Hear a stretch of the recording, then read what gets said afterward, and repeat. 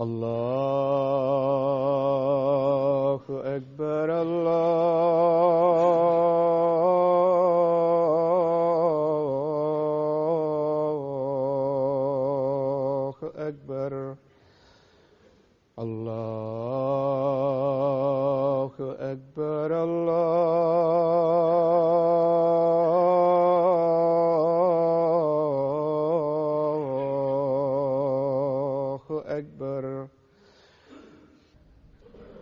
أشهد أن لا إله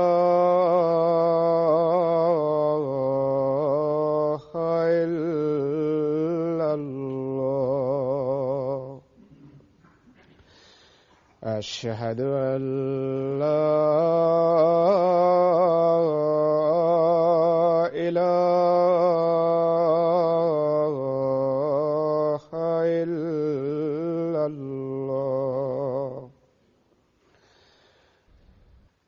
أشهد أن محمد رسول الله.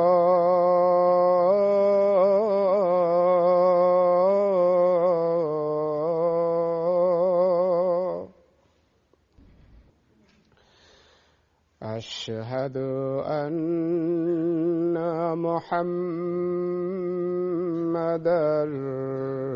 رسول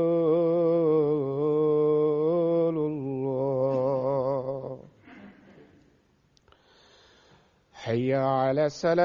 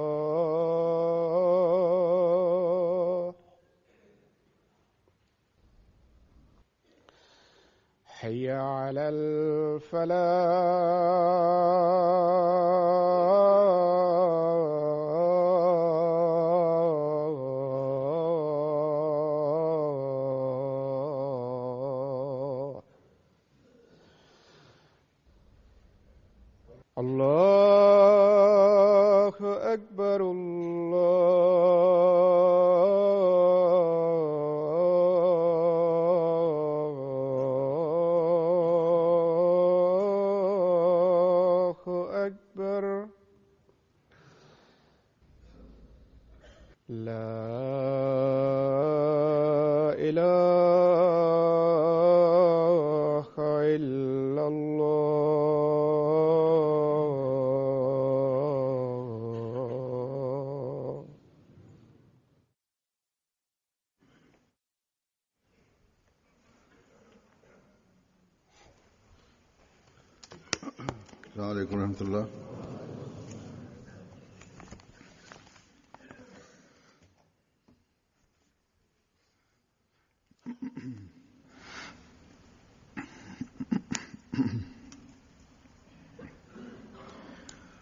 أشهد أن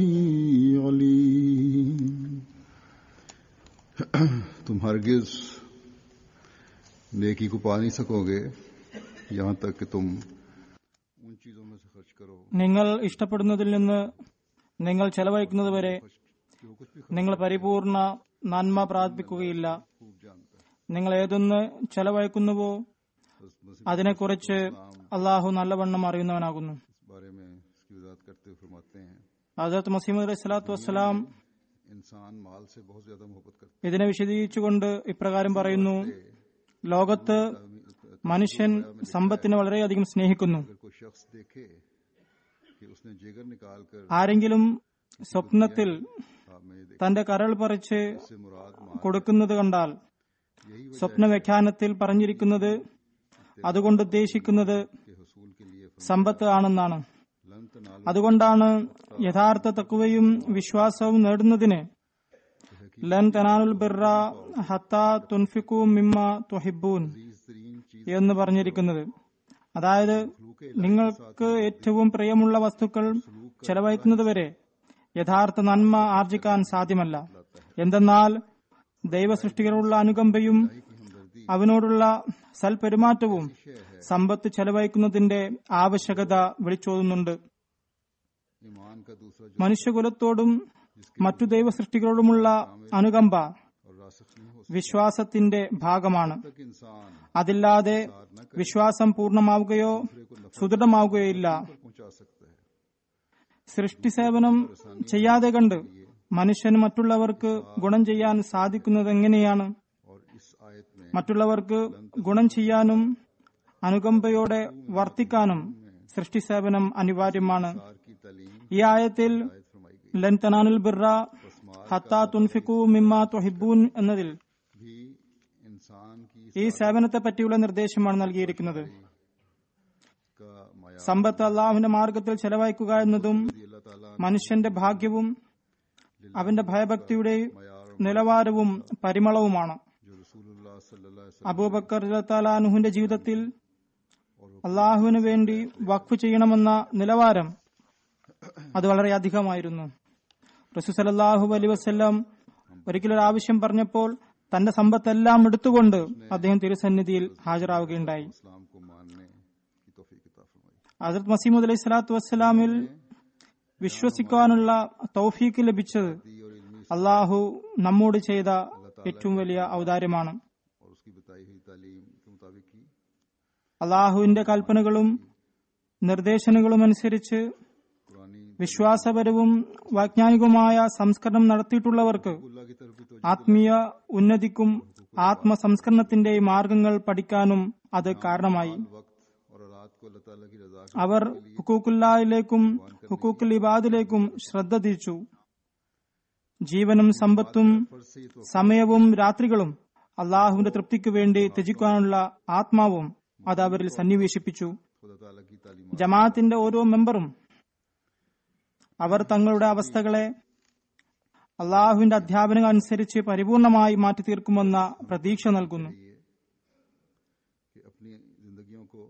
അപ്പോഴാണ് അവൻ യഥാർത്ഥ അഹമ്മദി എന്ന് പറയപ്പെടുക. നമ്മുടെ ജീവിതത്തെ ആ പുണ്യാത്മാവിന്റെ പ്രതീക്ഷകൾക്കനുസരിച്ച് അധ്യാപനങ്ങൾക്കനുസരിച്ച് മാറ്റി തീർക്കാൻ നാം ശ്രമിക്കേണ്ടതാണ്. ഞാൻ വായിച്ചു കേൾപ്പിച്ച ഈ ഉദ്ധരണികൾ. ഞാൻ ആദ്യം പാരായണം ചെയ്ത ആയത്തിന്റെ വിശദീകരണത്തിലാണ് പറഞ്ഞിരിക്കുന്നത്. ഇതിൽ അള്ളാഹു നമ്മുടെ ആത്മീയ പുരോഗതിക്കായുള്ള ഉത്തരവാദിത്തങ്ങൾ ഒരു വിശ്വാസിയുടെ ഉത്തരവാദിത്തങ്ങൾ അവയിലേക്ക് നമ്മുടെ ശ്രദ്ധയെ തിരിക്കുകയാണ്. അതായത് അവയിലൊന്നിലേക്ക് അതായത് ധനത്യാഗത്തിലേക്ക്. ഗഹനമായ ഒരു വിഷയമാണ് ഇതെങ്കിലും.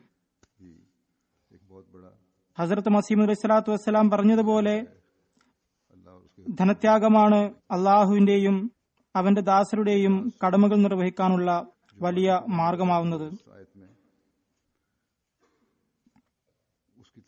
ഇതിന്റെ അടിസ്ഥാനത്തിൽ ഈ ആയത്തിലുള്ള ധനത്യാഗങ്ങളെക്കുറിച്ചുള്ള വശങ്ങൾ അത് സംബന്ധിച്ച് പറയാനാണ് ഞാൻ ഉദ്ദേശിക്കുന്നത്. അള്ളാഹുവിന്റെ സൃഷ്ടികളോടുള്ള കടമകൾ നിർവഹിക്കുന്നതിനും ദീനിന്റെ പ്രചാരണത്തിനും ധനത്യാഗം അനിവാര്യമാണ്. ഹസരത് മസീമദ് സ്വലാത്തു വസ്സലാമിന്റെ ഉദ്ധരണികളുടെ രത്നച്ചുരുക്കമാണിത്. ഹസരത് മസീമദ് അലൈഹി സ്വലാത്തു വസ്സലാമിന്റെ കാലത്ത് ഈ പ്രവൃത്തി അതിന്റെ പാരമ്യതയിലെത്തിയിരുന്നു. ഈ പ്രവൃത്തിയുടെ പൂർത്തീകരണത്തിൽ ഭാഗപക്കാവുന്ന നാം ഓരോ അഹമ്മദിയും ഭാഗ്യം ചെയ്തവരാണ്. അള്ളാഹുവിന്റെ തൃപ്തി നേടാനാണ് നാം ഇത് ചെയ്യുന്നത്. ധനത്തിനോടുള്ള സ്നേഹം കാരണം ലോകം ഇന്ന് എന്തെല്ലാമാണ് ചെയ്തു കൂട്ടുന്നത്?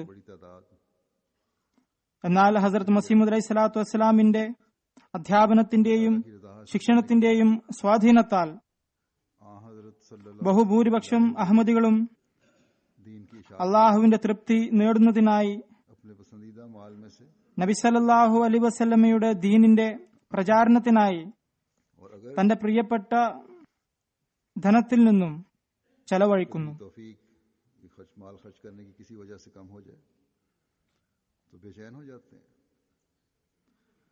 ഇനി എന്തെങ്കിലും കാരണത്താൽ ചെലവഴിക്കാൻ സാധിക്കാതെ വന്നാൽ തന്നെയും അവർ അസ്വസ്ഥരാകുന്നു. ചിലർക്ക് അറിയുക പോലും ചെയ്യാറുണ്ട്. ആയതിനാൽ ഹൃദയത്തിന്റെ ഈ അവസ്ഥ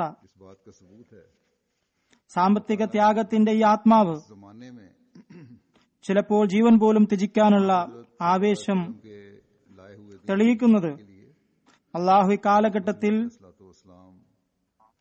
നബിസലല്ലാഹു അലൈ വസ്ല്ലം കൊണ്ടുവന്ന ദീനിന്റെ പ്രചാരണത്തിനായി വാഗ്ദത്ത് മസി അലൈഹി ഇസ്ലാമിനെ അയച്ചിരിക്കുന്നുവെന്നാണ്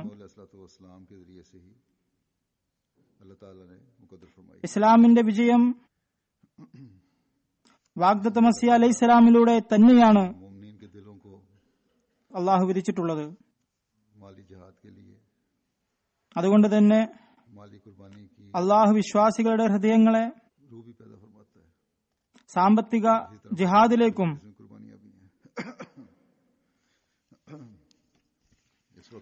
ധനത്യാഗത്തിലേക്കും ചായ്ക്കുന്നു. അതുപോലെ തന്നെ മറ്റു പല ത്യാഗങ്ങളിലേക്കും അള്ളാഹു ശ്രദ്ധ ക്ഷണിക്കുന്നു. ഇപ്പോൾ ഞാൻ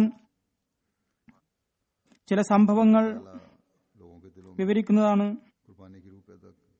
ഈ കാലഘട്ടത്തിലും അള്ളാഹു ജനങ്ങളുടെ ഹൃദയങ്ങളിൽ ധനത്യാഗത്തിനുള്ള റൂഹ് എങ്ങനെയാണ് സംജാതമാക്കുന്നതെന്ന് അതിൽ നിന്ന് വ്യക്തമാകുന്നതാണ്.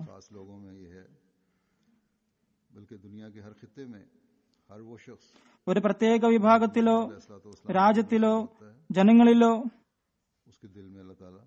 അല്ല ഈ ആവേശമുള്ളത്. മറിച്ച് ലോകത്തിന്റെ ഓരോ കോണിലും തന്നെ ഓരോ കോണിലും തന്നെ വാഗ്ദത്ത മസീവുമായി ബന്ധപ്പെടുത്തുന്ന ഓരോ വ്യക്തിയുടെ ഹൃദയത്തിൽ അള്ളാഹു ഈ ചിന്ത ഉണ്ടാക്കുന്നു.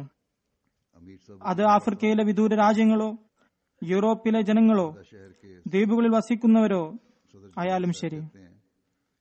ബൊക്കിന ഫസോയിലെ അമീർ സാബ് എഴുതി കിഫാദ പട്ടണത്തിലെ സദർ ജമാഅത്ത് സാഹിബ് പറയുന്നു ഈ വർഷം ബലിപെരുന്നാൾ വന്നപ്പോൾ എന്റെ വീട്ടിൽ ഭക്ഷണം ഉണ്ടാക്കാനുള്ള പൈസ പോലും ഉണ്ടായിരുന്നില്ല. അതുകൊണ്ട് തന്നെ കുർബാനിയെപ്പറ്റി അതായത് മൃഗബലിയെപ്പറ്റി എനിക്ക് ചിന്തിക്കാൻ പോലും സാധിക്കുമായിരുന്നില്ല. അതായത് പെരുന്നാളിൽ ചെയ്യുന്ന മൃഗബലിയാണ് ഉദ്ദേശിച്ചത്. പറയുന്നു ആ ദിനങ്ങളിൽ സംബന്ധിച്ച് മുറബി സാഹിബ് ദർസ് കൊടുക്കുകയായിരുന്നു. സാമ്പത്തിക ത്യാഗങ്ങളെക്കുറിച്ചും ജതിനെ പറ്റിയും അദ്ദേഹം ജനങ്ങളെ ബോധവാന്മാരായി. അങ്ങനെ അദ്ദേഹം പറയുന്നു ഞാൻ ബർക്കത്തിന് വേണ്ടി രണ്ടായിരം ഫ്രാങ്ക് അതിലേക്ക് കൊടുത്തു. അള്ളാഹു എന്റെ ആവശ്യങ്ങൾ നിറവേറ്റുമെന്ന് ഞാൻ ചിന്തിച്ചു. എന്തായാലും മൂജത്ത് എന്ന് തന്നെ പറയാം. അടുത്ത ദിവസം തന്നെ അദ്ദേഹത്തിന്റെ ഇളയ സഹോദരൻ ഐവറി കോസ്റ്റിൽ നിന്നും അസാധാരണമാം വിധം ഒരു വലിയ തുക തന്നെ അയച്ചു കൊടുക്കുകയുണ്ടായി. അദ്ദേഹം തീരെ ഇത് പ്രതീക്ഷിച്ചിരുന്നില്ല. അതുകൊണ്ട് മൃഗബലിയും നടന്നു. വീട്ടുചെലവിന്റെ ആവശ്യങ്ങളും പൂർത്തിയാവുകയുണ്ടായി. പറയുന്നു ഏതാനും മണിക്കൂറുകൾക്കുള്ളിൽ ഇങ്ങനെ സംഭവിച്ചത് കണ്ടപ്പോൾ എന്റെ ഈമാൻ വർദ്ധിക്കുകയുണ്ടായി. ബൊക്കിനഫസയിലെ മുറബി സാഹിബ് എഴുതുന്നു വേദ്ഭു എന്ന സ്ഥലത്തെ മുറബി സാഹിബ് ഒരു ഖാദിം ആദം സാഹിബ് അതേ നിത്യവൃത്തിക്കായി പരുത്തിച്ചെടിയുടെ വിത്തുകൾ വാങ്ങി വിൽക്കാൻ കുറച്ച് വിത്തുകൾ വാങ്ങി. പരുത്തിച്ചെടി കൃഷി ചെയ്യുന്ന സ്ഥലമാണത്. വാങ്ങാൻ ആരും കിട്ടിയില്ല.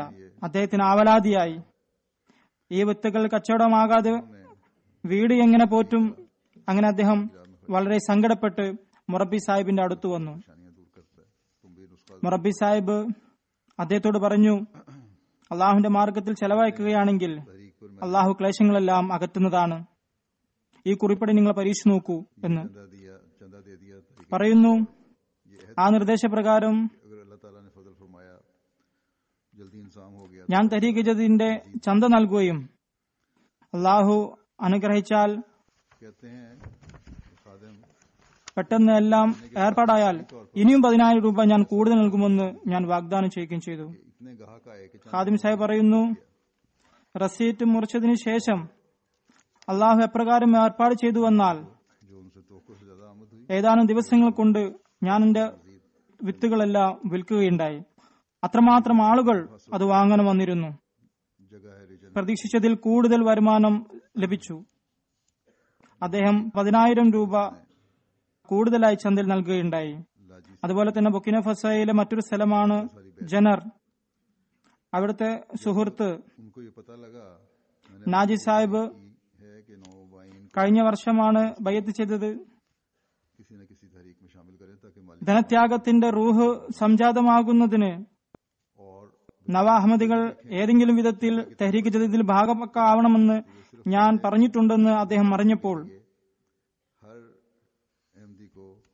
ചന്ത എത്രയാണ് കൂട്ടുന്നതെന്നോ എത്രയാണ് കൊടുക്കുന്നതെന്നോ നോക്കാതെ ഒരു ശീലമുണ്ടാക്കിയെടുക്കാൻ വേണ്ടി ഓരോ അഹമ്മദിയും ധനത്യാഗത്തിൽ ഭാഗപക്കാകേണ്ടതുണ്ട് നവാഹമ്മദികളെ പ്രത്യേകിച്ചും ഇത് സംബന്ധിച്ച് ഉത്ഭുതരാക്കേണ്ടതാണ് എന്തായാലും അദ്ദേഹത്തെ ബോധ്യപ്പെടുത്തിയപ്പോൾ ഒരു പെൻസോ ഫ്രാങ്കോ എന്തെങ്കിലും കൊടുക്കണമെന്ന് പറഞ്ഞപ്പോൾ ആ നവാഹമ്മദിയും ഇതിലേക്ക് ശ്രദ്ധിക്കുകയുണ്ടായി.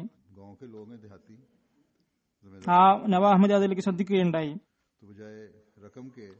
അവിടുത്തെ സമ്പ്രദായ പ്രകാരം കൃഷി ചെയ്യുന്ന ഗ്രാമീണരാണവർ. പണത്തിന് പകരം ധാന്യമാണ് നൽകുക. ധാന്യം നൽകുന്നതിന് ജമാഅത്തിനോട് ചാക്കോലി മറ്റോ നൽകാൻ വേണ്ടി അവർ ആവശ്യപ്പെട്ടിരുന്നു. അതിൽ ധാന്യം അളന്നു നിറച്ച് എത്തിച്ചു കൊടുക്കാനാണത്. ഇവർക്കും അല്ലെങ്കിൽ മൊറബി സാഹിബിനോ അല്ലെങ്കിൽ ജമാഅത്തിന്റെ ബന്ധപ്പെട്ട അധികാരികളോ രണ്ട് കാലി ചാക്ക് നൽകുകയുണ്ടായി. അപ്പോൾ മനസ്സിൽ അഹമ്മദിയായത് ഇപ്പോൾ മാത്രമാണ്. ജീവിതകാലം മുഴുവൻ മുസ്ലിമായിരുന്നു. ചന്തയെക്കുറിച്ചുള്ള ഒരു പരാമർശം പോലും മുമ്പുണ്ടായിരുന്നില്ല. ചന്ത നൽകിയിട്ടുമില്ല. ഇപ്പോൾ ഇദ്ദേഹം പറയുന്നു കാലത്തിന്റെ ഖലീഫ എന്തായാലും ചന്തയിൽ ഭാഗമാകണമെന്ന് പറഞ്ഞിരിക്കുന്നു. ഏതായാലും ഇതുകൊണ്ട് എന്ത് പ്രയോജനമാണെന്ന് ഉണ്ടാവുക എന്ന് നോക്കാം എന്ന ചിന്ത ഉണ്ടായി. അതെന്തായാലും അദ്ദേഹം നൽകിയ ധാന്യത്തിന്റെ മൂല്യം അയ്യായിരം ഫ്രാങ്ക് ആയിരുന്നു. അതിനുശേഷം അദ്ദേഹം വന്നു പറഞ്ഞത് ഈ വർഷം എന്റെ വിള കഴിഞ്ഞ വർഷത്തേക്കാൾ ഇരട്ടിയാണ്. അടുത്ത വർഷം ഇരട്ടി ധാന്യം നൽകാൻ ചാക്ക് വാങ്ങിക്കൊണ്ടുപോകുകയുണ്ടായി അദ്ദേഹം. ലൈബ്രേരിയയിലെ അമീർ സാഹിബ് വിവരിക്കുന്നു അവിടുത്തെ മുറബി കേപ്ടൺ കൌണ്ടി പര്യടനം നടത്തുകയുണ്ടായി. പോകുന്ന വഴിക്ക് ഒരു ജമാഅത്തുണ്ട് നട്ബിന അവർക്ക് സന്ദേശം നൽകി നബി നമസ്കാരത്തിന്റെ സമയത്ത് നമ്മൾ എത്തിച്ചേരുമെന്ന് അവർക്ക് സന്ദേശം എത്തിച്ചു. എന്നാൽ അതിനടുത്തുള്ള ജമാഅത്ത് എലോർ അത് വലിയ ജമാഅത്താണ്. വളരെ ആക്റ്റീവായ ജമാഅത്താണത്. ചന്ത നൽകുന്നവരാണ്. അവിടെ എത്താൻ വളരെ വൈകിപ്പോയി. അവർ വിചാരിച്ചു നഗ്മീനയുടെ ജമാഅത്ത് താരതമ്യേന ദുർബലമായ ജമാഅത്താണ് എന്നവർ കരുതി ത്യാഗങ്ങളുടെ കാര്യത്തിലും ബലഹീനമാണ് മകരിബിന് തിരിച്ചെത്താമെന്ന് പറഞ്ഞിട്ടാണ് പോയിരുന്നതെങ്കിലും അദ്ദേഹം പോയ ജമാഅത്ത് വലുതുമായിരുന്നു തിരക്കുമുണ്ടായിരുന്നു അതിനാൽ വൈകിപ്പോയി ഇഷാ നമസ്കാരത്തിന്റെ സമയമാവുകയുണ്ടായി ഇഷാ സമയത്ത് എത്തിയപ്പോൾ ആദ്യമായി കാണാൻ സാധിച്ചത് നൂറ്റി എഴുപത് സഹോദരന്മാർ അദ്ദേഹത്തെ പ്രതീക്ഷിച്ച് അവിടെ ഇരിക്കുകയായിരുന്നു. കാലത്തിന്റെ ഖലീഫ ചന്ത നൽകാൻ പറഞ്ഞതായി താങ്കൾ പറഞ്ഞിരുന്നല്ലോ. അതുകൊണ്ട് ചന്ത നൽകാനായി താങ്കളെ കാത്ത് ഞങ്ങൾ ഇവിടെ ഇരിക്കുകയായിരുന്നു എന്നവർ പറഞ്ഞു. ഇതാണ് ജമാഅത്തിലെ ആളുകളുടെ ആത്മാവ്. ചന്ത നൽകുന്നവരല്ല ബലഹീനതരാണ് എന്ന് അവർ ധരിക്കുന്നു. എന്നാൽ പ്രചോദനം നൽകിയപ്പോൾ ശരിയായ രീതിയിൽ പ്രചോദനം നൽകിയാൽ അവരെ പറഞ്ഞ് മനസ്സിലാക്കിയാൽ ധനത്യാഗത്തിന്റെ പ്രാധാന്യം എന്താണെന്ന് വ്യക്തമാക്കിയാൽ എന്തെല്ലാം കാര്യങ്ങളാണെന്ന് ജനങ്ങൾക്ക് വ്യക്തമായാൽ അവർ ത്യാഗത്തിന് സന്നദ്ധരാകുന്നു. ഇനി ബലഹീനത ഉണ്ടെങ്കിൽ തന്നെ നിസാമിലും ബലഹീനത ഉണ്ടാകും. അള്ളാഹുന്റെ അനുഗ്രഹത്താൽ ആളുകളുടെ ഈമാനിൽ ഒരു ദർബല്യവുമില്ല തുടർന്ന് ലൈബ്രേരിയയിലെ അമീർ സാഹിബ് എഴുതുന്നു ബലാവർ ഗ്രാമത്തിൽ ഈ വർഷം പുതിയ ജമാഅത്ത് രൂപീകരിക്കപ്പെട്ടു. ഈ ഗ്രാമത്തിലേക്ക് റോഡില്ല മാത്രമല്ല നല്ല വഴി പോലുമില്ല ഒരു ചുരം മാത്രമാണ് അവിടെയുള്ളത്. അത് മരക്കഷ്ണങ്ങൾ കൊണ്ട് പാലമുണ്ടാക്കിയിരിക്കുകയാണ് അതിന് മുകളിലൂടെയും അരുകളിലൂടെയും യാത്ര ചെയ്യേണ്ടി വരും. അദ്ദേഹം പറയുന്നു നമ്മുടെ ലോക്കൽ മോലിയും അവിടെ ചെന്നു. അതിനെ സന്ദർശിച്ച് പുതിയ ജമാഅത്തിലുള്ളവരോട് ധനത്യാഗം എന്താണെന്ന് പറഞ്ഞു കൊടുക്കുകയും തരീഖ് ജദീനെ സംബന്ധിച്ച് പരിചയപ്പെടുത്തുകയും ചെയ്തു. അവിടുത്തെ ആഴ്ച വീണ്ടും വരുമെന്ന് പറഞ്ഞു. അവിടുത്തെ ആളുകൾ അവരുടെ ജമാഅത്ത് വളരെ ദൂരത്തും കാട്ടുപ്രദേശത്തുള്ളവരും ദരിദ്രരുമായ ജമാഅത്താണ്. അവിടത്തേക്കുള്ള ദുർഘടമായ മാർഗത്തിലൂടെ രണ്ടാമതും വന്ന് ബുദ്ധിമുട്ടേണ്ടതില്ല. ചന്തയുടെയും ധനത്യാഗത്തിന്റെയും പ്രാധാന്യം ഞങ്ങൾ മനസ്സിലാക്കുന്നു. ഞങ്ങളുടെ കയ്യിലുള്ളത് എന്താണോ അത് ഇപ്പോൾ തന്നെ കൊണ്ടുപോയിക്കൊള്ളുക. ഇങ്ങനെ ചെയ്താൽ വീണ്ടും വീണ്ടും ഈ വഴി സഞ്ചരിക്കേണ്ട ബുദ്ധിമുട്ട് നിങ്ങൾക്ക് സഹിക്കേണ്ടി വരില്ല എന്നവർ പറഞ്ഞു.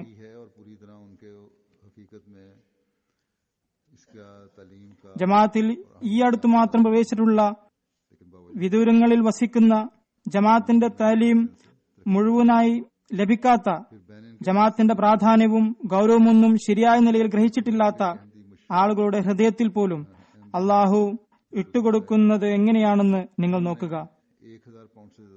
ഇങ്ങനെയൊക്കെയായിരുന്നിട്ടും ത്യാഗങ്ങളിൽ അവർ ദിനംപ്രതി പുരോഗമിച്ചു കൊണ്ടിരിക്കുന്നു. ശേഷം ബനിയിലെ അമീർ സാഹിബ് എഴുതുന്നു പൊർത്തുനോവിലെ ഒരു അഹമ്മദി മഷൂദ് സാഹിബ് അദ്ദേഹം ആയിരം പൗണ്ടിലധികം ത്യാഗം ചെയ്തു. ആഫ്രിക്കൻ രാജ്യങ്ങളിൽ ഇത്രയധികം സാമ്പത്തിക ത്യാഗം വളരെ വലിയ കാര്യമാണ്. മബലിക് സാഹിബ് ഇത് വഖഫ് ജദീദിന്റെ ചന്ത മാത്രമാണ്. വേറെയും ചന്തയുണ്ട് എന്ന് പറഞ്ഞപ്പോൾ നിസ്സംശയം ഉണ്ടായിക്കൊള്ളട്ടെ. എന്നാൽ ഇതിൽ നിന്ന് ഞാൻ കുറക്കുകയില്ല. സർവശക്തനായ അള്ളാഹു അത് നൽകാൻ ഇനിയും സാഹചര്യം ഒരുക്കിത്തരും എന്ന് അദ്ദേഹം പറയുകയുണ്ടായി. ഇത്തരത്തിലുള്ള ആത്മാവാണ് ഇവരിൽ ഉദയം ചെയ്തുകൊണ്ടിരിക്കുന്നത്. എന്തായാലും മൊറബി സാഹിബ് ചെയ്തതും ശരിയാണ്. ലക്ഷ്യം ചന്തയിൽ നൽകുന്ന തുകയല്ല മറിച്ച് ധനത്യാഗത്തിന് സന്നദ്ധമായ ഒരു ആത്മാവ് സൃഷ്ടിക്കലാണ്. അതുവഴി നഫ്സിന്റെ പരിഷ്കരണം ഉണ്ടാവാൻ അത് കാരണമാകുന്നു. കഴിഞ്ഞ ദിവസങ്ങളിൽ റബ്വയിൽ ഹത്വനുഭവത്ത് കോൺഫറൻസ് നടന്നു. ഇതെല്ലാ വർഷവും നടക്കുന്നതാണ്. ഇവിടെ നടക്കാറുണ്ട്. അപ്പോൾ ഇത്തവണത്തെ കോൺഫറൻസ് നടന്നപ്പോൾ ആദ്യം ഒരു മൗലവി സാഹിബ് ആവേശത്തോടെ പ്രഭാഷണം നടത്തി.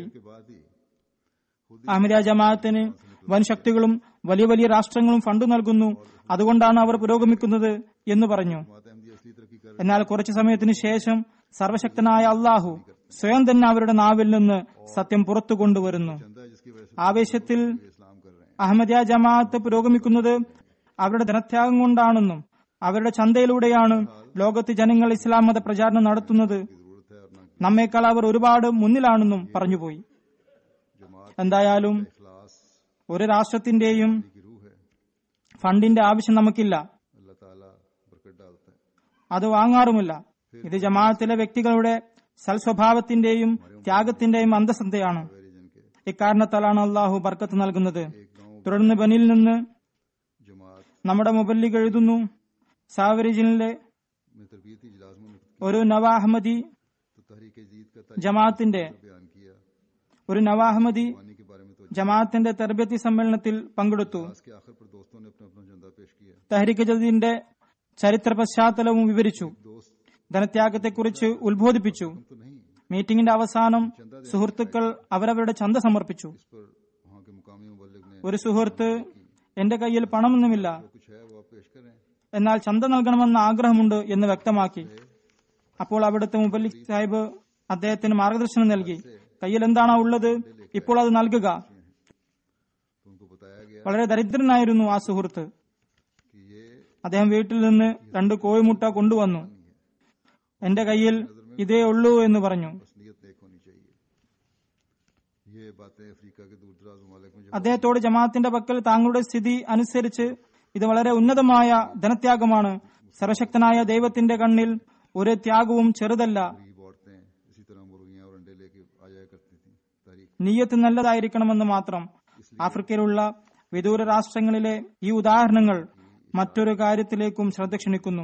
ഹസരത് മുസ്ലിം തലാനുഹിന്റെ കാലഘട്ടത്തിൽ ദരിദ്രരായ സ്ത്രീകൾ ഇതുപോലെ തന്നെ കോഴികളും കോഴിമുട്ടകളും ഒക്കെ എടുത്ത് എത്താറുണ്ടായിരുന്നു. അവരുടെ ഹൃദയങ്ങളിൽ ഇസ്ലാമിക് പ്രചാരണത്തിനായൊരു തുടിപ്പ് തന്നെ ഉണ്ടായിരുന്നു. ഇതേക്കുറിച്ചും ഒരു റിപ്പോർട്ടുണ്ട്. ഒരു പഴയ അഹമ്മദി അബൂബക്കർ ജാര സാഹിബ് എന്തോ കാരണത്താൽ ചന്ത കൊടുക്കൽ ഉപേക്ഷിച്ചു. മെല്ലെ മെല്ലെ ജമാഅത്തിന്റെ പരിപാടികളിൽ നിന്നും അദ്ദേഹം വിട്ടുനിന്നു. ഇക്കാരണത്താൽ അദ്ദേഹത്തെ ഒരുപാട് ഉപദേശിച്ചു. ഒരു ഫലവും ഉണ്ടായില്ല. കുറച്ചു കാലത്തിന് ശേഷം ഒരു ദിവസം അദ്ദേഹം മിഷനിൽ വന്ന് ചന്ത നൽകുകയുണ്ടായി. എന്നിട്ട് പറഞ്ഞു ഇന്ന് രാത്രി ഞാൻ സ്വപ്നത്തിൽ വെള്ളത്തിൽ വളരെ ആഴത്തിൽ മുങ്ങുന്നതായി കണ്ടു. സഹായിക്കാൻ ആരും വരുന്നില്ലായിരുന്നു. അപ്പോഴേക്കും ഒരു കപ്പൽ കണ്ടു. അതിൽ ഹസരത് മസീമദ് സ്വലാത്തു വസ്സലാം യാത്ര ചെയ്യുന്നുണ്ടായിരുന്നു. ഹുസൂർ അലൈഹി സ്വലാത്തു വസ്സലാം അദ്ദേഹത്തിന്റെ കൈപിടിച്ചു കപ്പലിൽ തന്നോടൊപ്പം ഇരുത്തി. എന്നിട്ട് പറഞ്ഞു മേലിൽ ചന്ത നൽകുന്നതിൽ അലസത കാട്ടരുത്. ഈ സ്വപ്നത്തിന് ശേഷം ജീവിതത്തിൽ ഒരിക്കലും ചന്ത നൽകുന്നതിൽ ആലസ്യം കാണിക്കില്ലെന്നും ജമാഅത്തി കാര്യങ്ങളിൽ അവഗണന കാട്ടില്ലെന്നും ജമാഅത്തിനോട് ദൃഢപ്രതിജ്ഞ ചെയ്തു. ഇത് ചന്തയുടെ പ്രാധാന്യത്തിന്റെ തെളിവാണ്. ഹസരത് മസീമദ് അലൈഹി സ്വലാത്തു വസ്സലാമിന്റെ സത്യതയുടെയും തെളിവാണ്. വിദൂര രാജ്യത്ത് ആ രാജ്യത്തിന്റെ തന്നെ ഏതോ വിദൂര കോണിലുള്ള ഒരാൾ അഹമ്മദത്ത് സ്വീകരിച്ച് അതിൽ നിന്ന് വിമുഖത കാണിക്കുമ്പോൾ അദ്ദേഹത്തിന് വീണ്ടും മാർഗദർശനം സ്വപ്നത്തിലൂടെ നടക്കുന്നു. ബനിയിലെ പുത്തുനബുസോയിലെ ആ പ്രദേശത്തെ ദായിലല്ല അദ്ദേഹം പറയുന്നു ഷഫി സാഹിബ് വിവരിക്കുന്നു അദ്ദേഹം ഫിത്രാന ഈടാക്കാൻ പോയപ്പോൾ തന്റെ സ്ഥലത്തുള്ള ഒരു വീട്ടിലെത്തി. ആ വീട്ടിലെ മുതിർന്ന ആളുകളോട് ഫിത്രാന ചോദിച്ചപ്പോൾ എന്റെ വീട്ടിലാകെ ആയിരത്തി അഞ്ഞൂറ് ഫ്രാങ്ക് മാത്രമാണുള്ളത്. രണ്ടു ദിവസത്തിനുള്ളിൽ ഭാര്യയുടെ പ്രസവം നടക്കും. ഇതിന് എനിക്ക് നാലായിരത്തി അഞ്ഞൂറ് ഫ്രാങ്ക്സിന്റെ ആവശ്യമുണ്ട്. ഇന്ന് തന്നെ എന്റെ കെട്ടിടോടമസ്ഥൻ മൂവായിരത്തി അഞ്ഞൂറ് ഫ്രാങ്ക്സ് കെട്ടിട വാടക ഈടാക്കാൻ വന്നു. ദേഷ്യപ്പെട്ടാണ് അദ്ദേഹം പോയത്. എനിക്ക് വാടക നൽകാൻ പറ്റിയില്ല. എന്റെ കയ്യിൽ നൽകാൻ ഇത് മാത്രമേ ഉള്ളൂ. ഏതായാലും ലോക്കൽ സെക്രട്ടറി ഷാഫി സാഹിബ് അദ്ദേഹത്തെ പറഞ്ഞു മനസ്സിലാക്കി. ഈ അവസ്ഥയിൽ ചന്ത തരണമെന്ന് പറയാൻ പാടില്ല. അതെന്തായാലും അവസ്ഥകൾ വിശദീകരിച്ചുകൊണ്ട് ഈ പരിതസ്ഥിതിയിലും അള്ളാഹുവിന്റെ മാർഗത്തിൽ നിങ്ങൾ നൽകുകയാണെങ്കിൽ ഫലമുണ്ടാകും. ഈ അവസ്ഥയിൽ നമ്മുടെ ജമാഅത്തിലെ മുബല്ലിഗ്മാർ ഇത്തരക്കാരെ സഹായിക്കുകയാണ് വേണ്ടത്. എന്നാൽ തുടർന്നുള്ള സംഭവം എങ്ങനെയാണ് സർവശക്തനായ അള്ളാഹു അസർ മസീം മുസ്ലാത്തു വസ്സലാമിന്റെ ജമാഅത്തിൽ പ്രവേശിക്കുന്നവരെ എപ്രകാരമാണ് സഹായിക്കുന്നതെന്നും ഇവരുടെ വാക്കുകളുടെ അന്തസ് എങ്ങനെയാണ് കാത്തുസൂക്ഷിക്കുന്നത് എന്നും വിളിച്ചോതുന്നതാണ്. സെക്രട്ടറി സാഹിബ് സർവശക്തനായ അള്ളാഹു സഹായിക്കുമെന്നും ദൈവമാർഗത്തിലുള്ള ധനത്യാഗം തീർച്ചയായും ഫലം ചെയ്യുമെന്നും പറഞ്ഞപ്പോൾ അദ്ദേഹം ആയിരം ഫ്രാങ്ക്സ് ഫിത്രാനയും ബാക്കി അഞ്ഞൂറ് തഹരീക്ക് ജദീനും നൽകുകയുണ്ടായി. മൂന്ന് ദിവസം കഴിഞ്ഞപ്പോൾ അദ്ദേഹം വളരെ സന്തോഷത്തോടെ അറിയിച്ചു താങ്കൾ ചന്ത ഈടാക്കാൻ വന്ന അന്ന് തന്നെ ഒരു വ്യക്തി വീട്ടിൽ വന്ന് പതിനായിരം ഫ്രാങ്ക്സ് നൽകിക്കൊണ്ട് ഈ തുക പന്ത്രണ്ടായിരം ഫ്രാങ്ക്സ് എന്നോട് കടം വാങ്ങിയ ആളുടേതാണ് എന്ന് പറയുകയുണ്ടായി. ഒരുപാട് തവണ തിരിച്ചു ചോദിച്ചിട്ടും നൽകിയിരുന്നില്ല അദ്ദേഹം. എന്നാൽ ചോദിക്കാതെ തന്നെ ചന്ത നൽകിയതിനു ശേഷം അള്ളാഹു വാങ്ങിയ ആളുടെ ഹൃദയത്തിൽ മാറ്റമിട്ടുകൊടുത്തു അയാൾ കടം വീട്ടുകയും ചെയ്തു.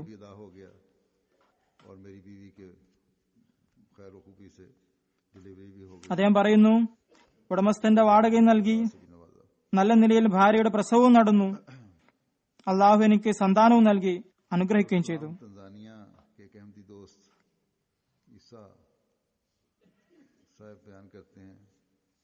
ദാറുസലാം താൻസാനയിലെ ഒരു അഹമ്മദി സുഹൃത്ത് ഈസാ സാഹിബ് അദ്ദേഹം വിവരിക്കുന്നു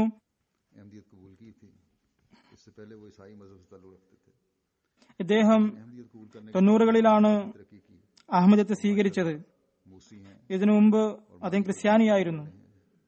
എന്നാൽ അഹമ്മദത്തെ സ്വീകരിച്ചതിന് ശേഷം ഈമാനിൽ ഒരുപാട് പുരോഗതി പ്രാപിക്കുകയുണ്ടായി. മാഷാല ഇപ്പോൾ മൂസിയാണ് ധനത്യാഗം ചെയ്യുന്ന ആളുമാണ്. അപ്പോഴും തന്റെയും കുടുംബത്തിന്റെയും ചന്ത വാഗ്ദാനത്തെക്കാൾ കൂടുതൽ നൽകാറുണ്ട്. ജമാഅത്തിന്റെ താലീം പ്രാവർത്തികമാക്കുന്നതിൽ മുൻകാല അഹമ്മദികളെക്കാൾ വളരെ മുന്നിലാണ്. അള്ളാഹുവിന്റെ അനുഗ്രഹത്താൽ ദർസലാം തൻസാനിയയുടെ റീജിയണൽ പ്രസിഡന്റുമാണ്. അദ്ദേഹം പറയുന്നു അള്ളാഹുവിന്റെ മാർഗത്തിൽ ധനത്യാഗം ചെയ്യാൻ തുടങ്ങിയത് മുതൽ അള്ളാഹുവിന്റെ ഒരുപാട് അനുഗ്രഹങ്ങൾ എന്റെ മേലെ വർഷിക്കുന്നതായി ഞാൻ കണ്ടു. അളവറ്റ അനുഗ്രഹങ്ങൾ വർഷിച്ചു.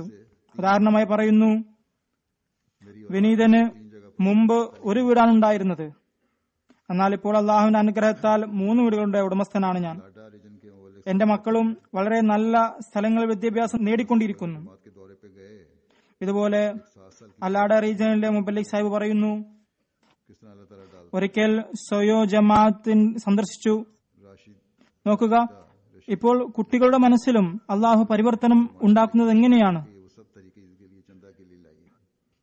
റാഷിദ ഏഴ് വയസ്സുള്ള പെൺകുട്ടിയാണ്. തക്കാളിയും മുളകും കടലയും ഒക്കെ എടുത്തു വന്നു. ഇവയൊക്കെയും ചന്ത നൽകാൻ കൊണ്ടുവന്നതാണെന്ന് പറഞ്ഞു. അവിടുത്തെ സദർ സാഹിബ് പറഞ്ഞു അവർ എല്ലാ മാസവും ചന്ത നൽകുന്നു. ഉമ്മ ചന്ത നൽകാൻ പണം കൊടുത്തിട്ടില്ലെങ്കിൽ ആ കുട്ടി കരയും. മൗലിം സാഹിബ് ചന്ത വാങ്ങാൻ വന്നപ്പോൾ സ്കൂളിൽ പോയിരിക്കുകയായിരുന്നു.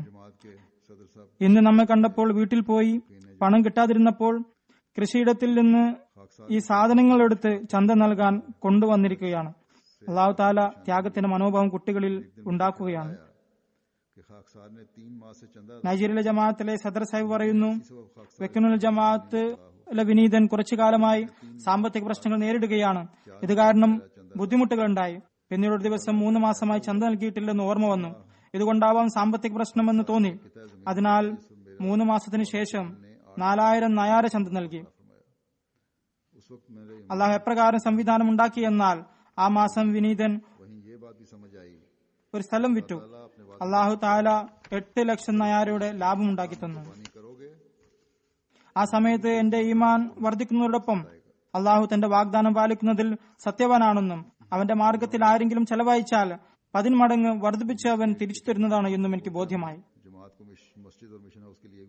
ഇദ്ദേഹം കോബി സ്റ്റേറ്റിന്റെ ക്യാപിറ്റൽ ലോക്കോജയിൽ പള്ളിക്ക് മിഷൻ ഹൌസിന് വേണ്ടിയിട്ട് വലിയൊരു പ്ലോട്ട് തന്റെ ജമാഅത്തിന് വേണ്ടി നൽകിയിരിക്കുകയാണ്. തൻസാനിയയിൽ നിന്ന് ഒരു അഹമ്മദി മറോഡ സാഹിബ് എഴുതുന്നു. ഞാൻ പത്താം ക്ലാസ് വരെ പഠിച്ചിട്ടുള്ളൂ. കുറെ കാലം എനിക്ക് ജോലിയൊന്നും ഉണ്ടായിരുന്നില്ല. ഒരു ഗ്യാസ് കമ്പനിയിൽ സെക്യൂരിറ്റി ഗാർഡായി എനിക്ക് ജോലി ലഭിച്ചു. അമ്പത്താറായിരം ഷില്ലിംഗ് ശമ്പളം നിശ്ചയിച്ചു. ഞാൻ എന്റെ ശമ്പളത്തിൽ നിന്നും ഷറ അനുസരിച്ച് ചന്ത കൊടുക്കുന്നതാണ് എന്ന് ഞാൻ അള്ളാഹുവിനോട് പ്രതിജ്ഞ ചെയ്തു. എന്തു തന്നെ പ്രശ്നങ്ങൾ എനിക്കുണ്ടായാലും ഞാൻ ചന്തയുടെ കാര്യത്തിൽ അസ്ഥ കാണിക്കുന്നതല്ല. ആ ഖാദിം ഈ പ്രതിജ്ഞ പാലിക്കുകയുണ്ടായി. പറയുന്നു ഇന്ന് ഞാൻ അള്ളാഹുവിന്റെ അനുഗ്രഹത്താൽ ഈ ത്യാഗത്തിന്റെ ഫലമായി ഗ്യാസ് കമ്പനിയുടെ സീനിയർ ഫീൽഡ് ഗ്യാസ് ഓപ്പറേറ്റർ എന്ന പോസ്റ്റിൽ ജോലി ചെയ്തു വരികയാണ്. ഒന്നര മില്യൺ ഷില്ലിംഗ് എനിക്ക് ശമ്പളം ലഭിക്കുന്നുണ്ട്. നിസ്സാരമായ വിദ്യാഭ്യാസം യോഗ്യതയോ എനിക്കുള്ളൂ. പത്താം ക്ലാസ് ആണ്. കമ്പനിയുടെ ഈ നിലവാരം അനുസരിച്ച് ഞാൻ ഈ സ്ഥാനത്തിന് യോഗ്യനയല്ല. എന്നാൽ അള്ളാഹുവിന്റെ അനുഗ്രഹം ഒന്നുകൊണ്ട് മാത്രം ഷറ അനുസരിച്ച് ധനത്യാഗം ചെയ്തതിന്റെ ബർക്കത്ത് കൊണ്ടാണ് ഇങ്ങനെ ഉണ്ടായത്. അതുകൊണ്ടാണ് എനിക്ക് ഈ പോസ്റ്റ് ലഭിച്ചത്. ഇന്നും ഷെറ അനുസരിച്ച് തന്നെയാണ് ഞാൻ ചന്ത നൽകുന്നത്. ആയതിനാൽ ഇവർ ആത്മാർത്ഥതയിലും കൂറിലും മുന്നോട്ട് ഗമിച്ചുകൊണ്ടിരിക്കുകയാണ്. വാൻഫിക്കു ഖൈറുലി അംഫുസിക്കും സമ്പത്ത് അവർ അള്ളാഹുവിന്റെ മാർഗത്തിൽ ചെലവഴിച്ചു കൊണ്ടിരിക്കുകയാണ് ഇത് നിങ്ങളുടെ ജീവന് വളരെ നല്ലതാണ്. ഈ വിഷയത്തെ മനസ്സിലാക്കിയവരാണ് അവർ. ഇതിന്റെ രഹസ്യം മനസ്സിലാക്കിയവരാണ് അവർ. അള്ളാഹു ഇവർക്ക് നന്നായി അനുഗ്രഹിക്കുകയും ചെയ്യുന്നു. ഇന്ത്യയിലെ തെഹ്രീക്ക് ജദീദ് ഇൻസ്പെക്ടർ സാഹിബ് ഷിയാബുദ്ദീൻ സാഹിബ് എഴുതുന്നു. സഫാബിലുള്ള ഒരു മുജാഹിദ്.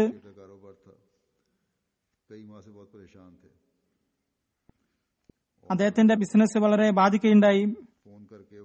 റിയൽ എസ്റ്റേറ്റിന്റെ ബിസിനസ് ആയിരുന്നു പല മാസങ്ങളിലായി അദ്ദേഹം വ്യാകുലനായിരുന്നു. ചന്ത അടച്ചു തീർക്കാൻ ഫോണിലൂടെ ദുവാ ചെയ്യാൻ അപേക്ഷിച്ചുകൊണ്ടിരുന്നു. എനിക്കും അദ്ദേഹം എഴുതി. ഇൻസ്പെക്ടർ സാഹിബ് ഷാബിൻ സാഹിബ് എഴുതുന്നു. ഒരിക്കൽ രാത്രി അദ്ദേഹത്തിന്റെ ഫോൺ വന്നു. എനിക്ക് താങ്കളെ കാണണമെന്ന് പറഞ്ഞു.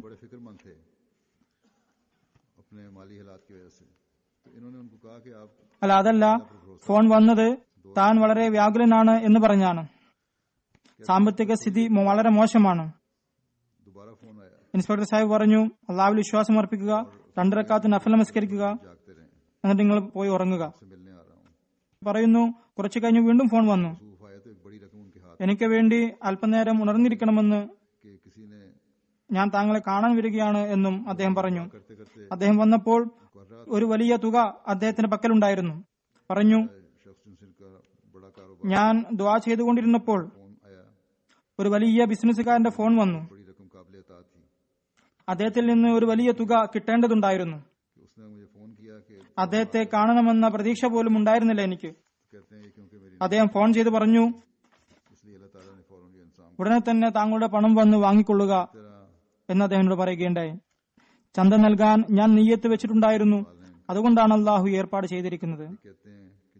അതുപോലെ തന്നെ ബഷറുദ്ദീൻ സാഹിബ് നായിബ് വക്കീലുൽമാൽ ഖാദിയാൻ അദ്ദേഹം പറയുന്നു ജമാഅത്തിലെ ഒരു മുഖ്ലിസ് ദോസ്ത് അദ്ദേഹം രണ്ടര ഇരട്ടി വർദ്ധിപ്പിച്ചുകൊണ്ട് വാഗ്ദാനം എഴുതിപ്പിച്ചു.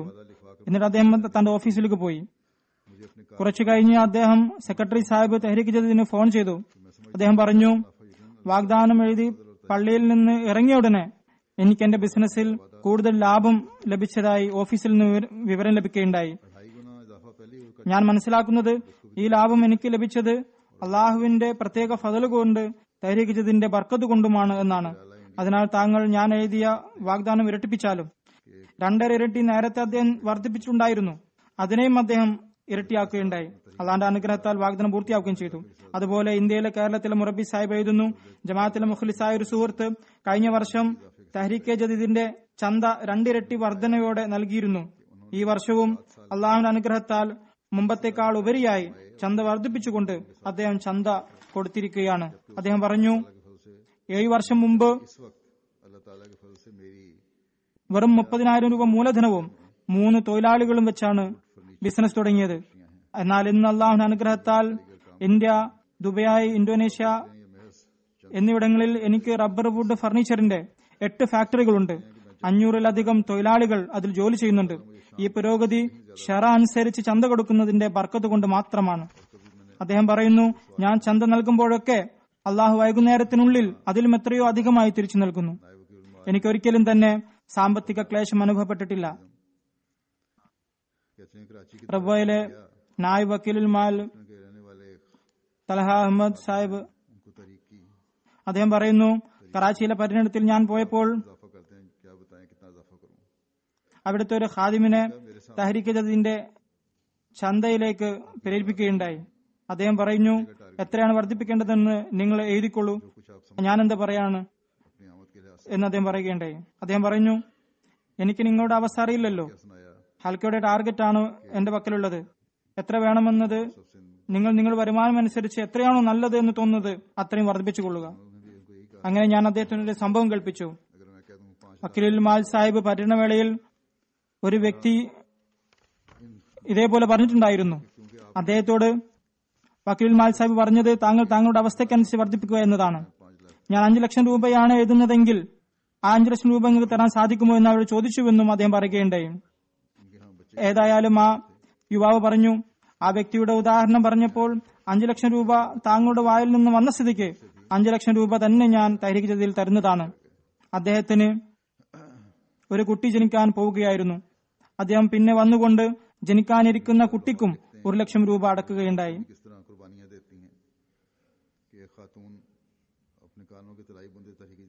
അമീർ സാബ് ലാഹോർ എഴുതുന്നു നമ്മുടെ സ്ത്രീകളും കുർബാനി ചെയ്യുന്നവരാണ്. ഒരു സ്ത്രീ തന്റെ ഇയർ റിംഗ് തരീഖ് ജതി നൽകുകയുണ്ടായി. നിത്യവൃത്തിക്കുള്ള ബുദ്ധിമുട്ട് കാരണം ഇതിനു മുമ്പും അവരുടെ ആഭരണങ്ങൾ എല്ലാം വിറ്റഴിഞ്ഞിരുന്നു. അവരുടെ സഹോദരി വളരെ സ്നേഹത്തോടെയാണ് ആ ആഭരണം ഉണ്ടാക്കി കൊടുത്തത്. വീട്ടാവശ്യത്തിന് വേണ്ടി ഇത് വിൽക്കരുതെന്ന് അവർ വാഗ്ദാനം നൽകിയിരുന്നു.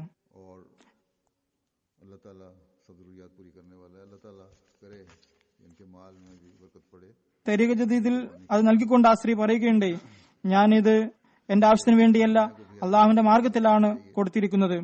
അള്ളാഹു ആവശ്യങ്ങൾ പൂർത്തിയാക്കുന്നവനാണ്. അവരുടെ സമ്പത്തിലും അള്ളാഹു വർക്കത്ത് നൽകുമാറാകട്ടെ. അവരുടെ ത്യാഗം സ്വീകരിക്കപ്പെടുമാറാകട്ടെ. എന്തിസാമിയക്കും ഇത്തരം ആളുകളുടെ കാര്യങ്ങൾ ശ്രദ്ധിക്കേണ്ടതാണ്. അവരുടെ അവസ്ഥയ്ക്കനുസരിച്ച് അവരെ നിർബന്ധിക്കാൻ പാടില്ല. ചില സന്ദർഭങ്ങളിൽ സെക്രട്ടറിമാര് സെക്രട്ടറി തെഹ്രിക്ക് ജദീദ് ജനങ്ങളുടെ പിന്നാലെ കൂടാറുണ്ട്. ജനങ്ങളുടെ അവസ്ഥ കണ്ടുകൊണ്ട് അവരിൽ നിന്ന് ചന്ത വാങ്ങേണ്ടതാണ്. National secretary Tehrik Jadid Germany പറയുന്നു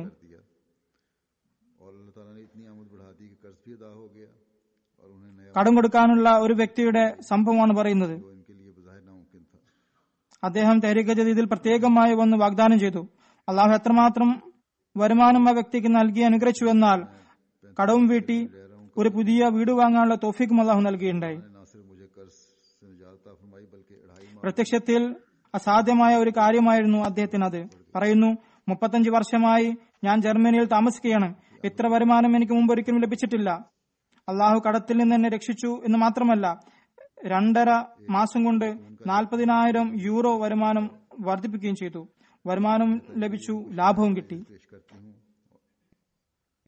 ഒരു സ്ത്രീയെ പറ്റി തഹരീക്ക് ജതി സെക്രട്ടറി സാഹിബ് എഴുതുന്നു.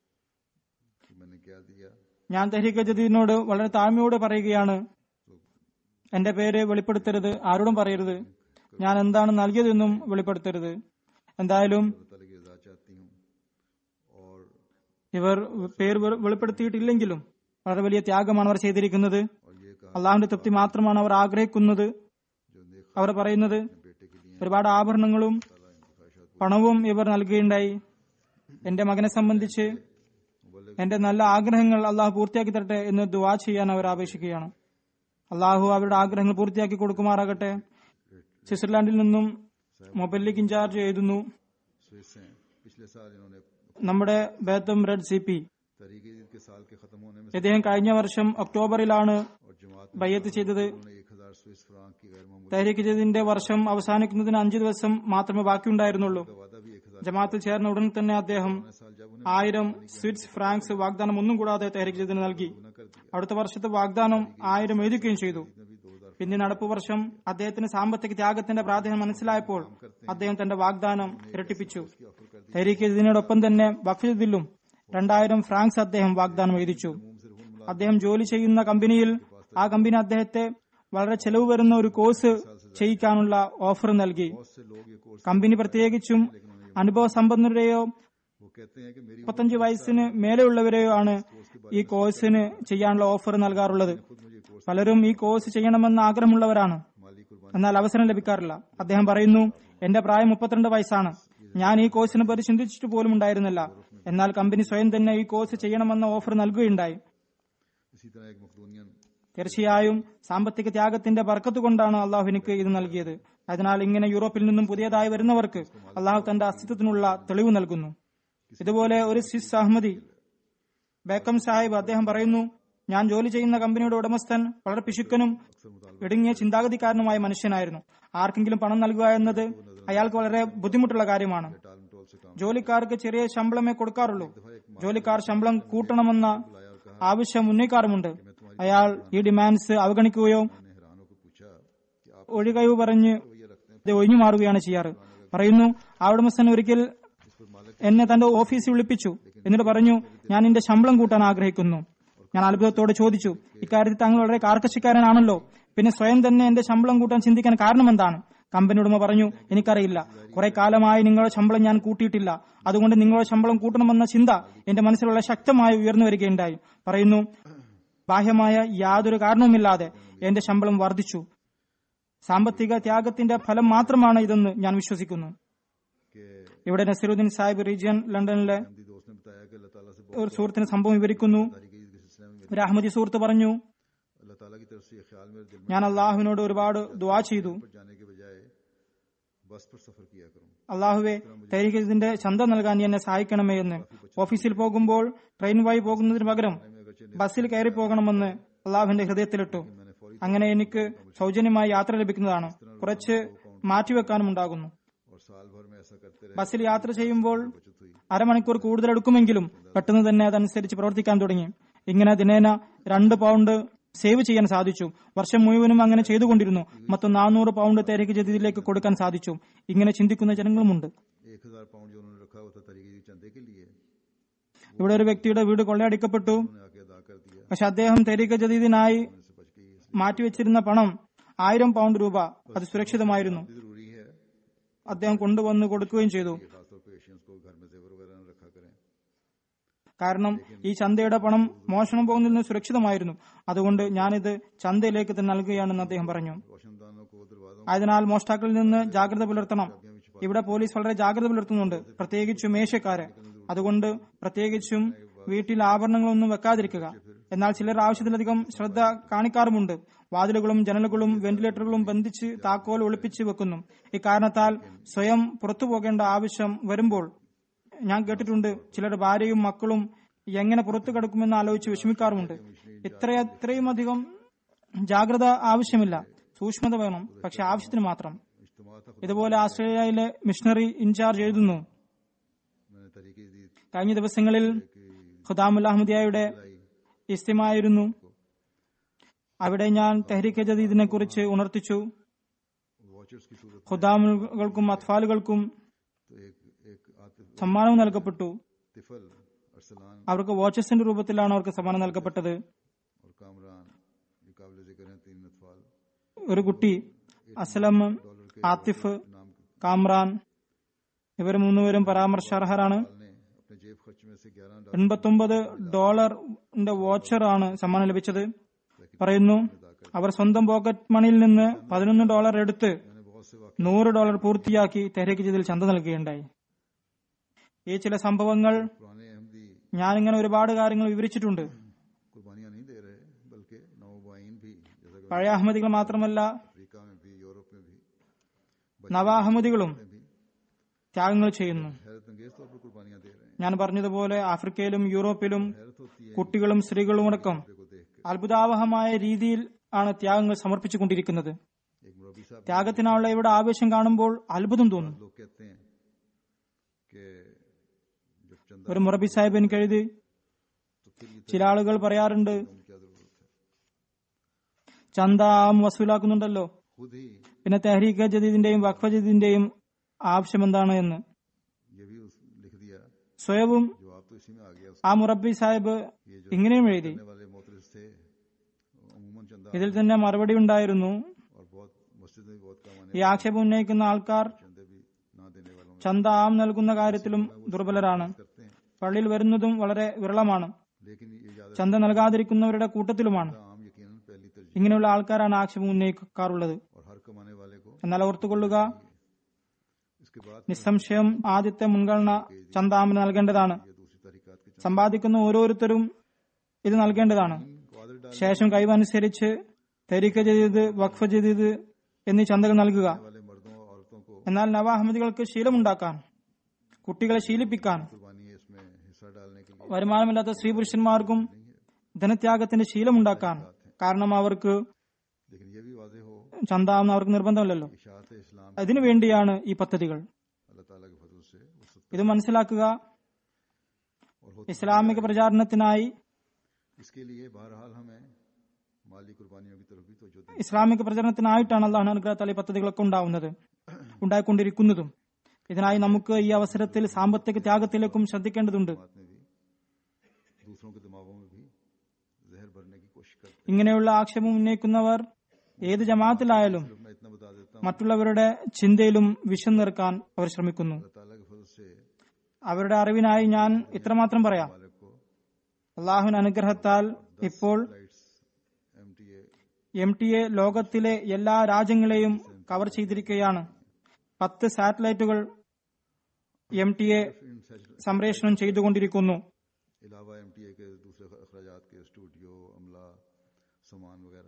എം ടി എയുടെ സ്റ്റുഡിയോ പോലുള്ള മറ്റുള്ള ചിലവുകളെ ഒഴിച്ചു നിർത്തി ഈ സാറ്റലൈറ്റുകളുടെ മാത്രം ചിലവ് എത്ര അധികമാണെന്നാൽ.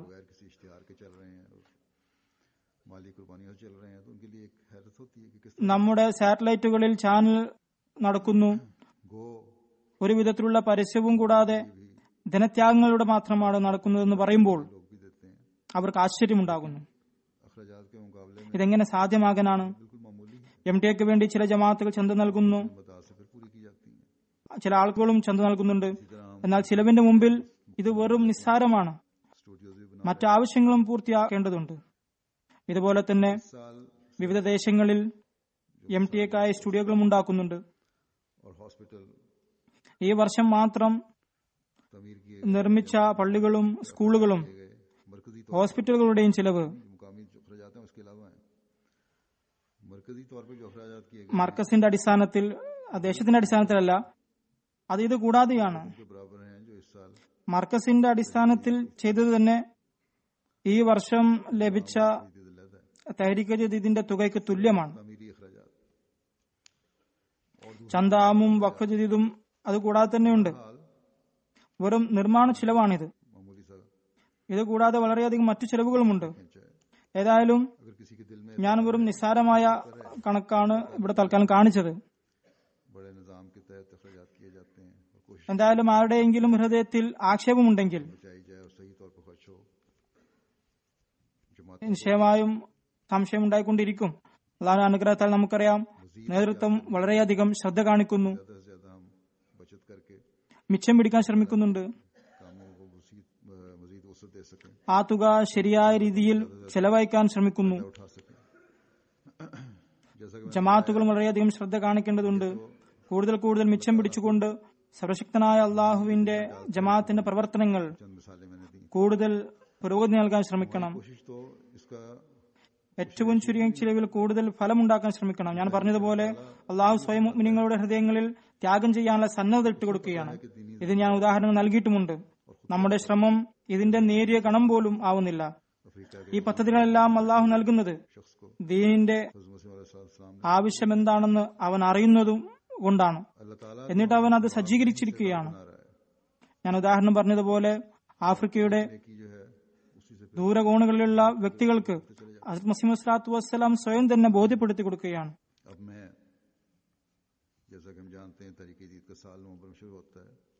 അള്ളാഹു നമ്മെ ഈ പുണ്യത്തിൽ ഭാഗമാക്കുകയാണ് ഒരു നന്മയിൽ നിന്ന് മറ്റു നന്മയിലേക്കുള്ള വഴികളും തുറന്നു വരുന്നു.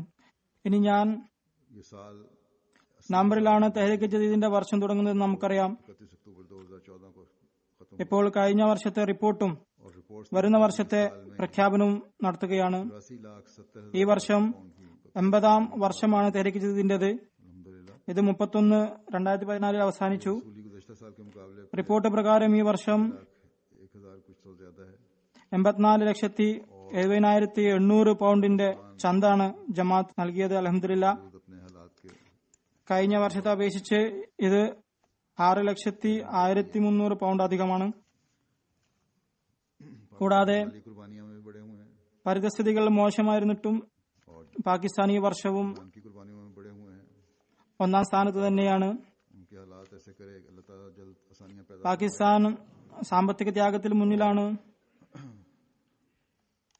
ജീവത്യാഗത്തിലും അവർ മുന്നിലാണ്. അള്ളാഹു താല പെട്ടെന്ന് തന്നെ അവരുടെ അവസ്ഥകൾ ലഘൂകരിച്ചു കൊടുക്കട്ടെ.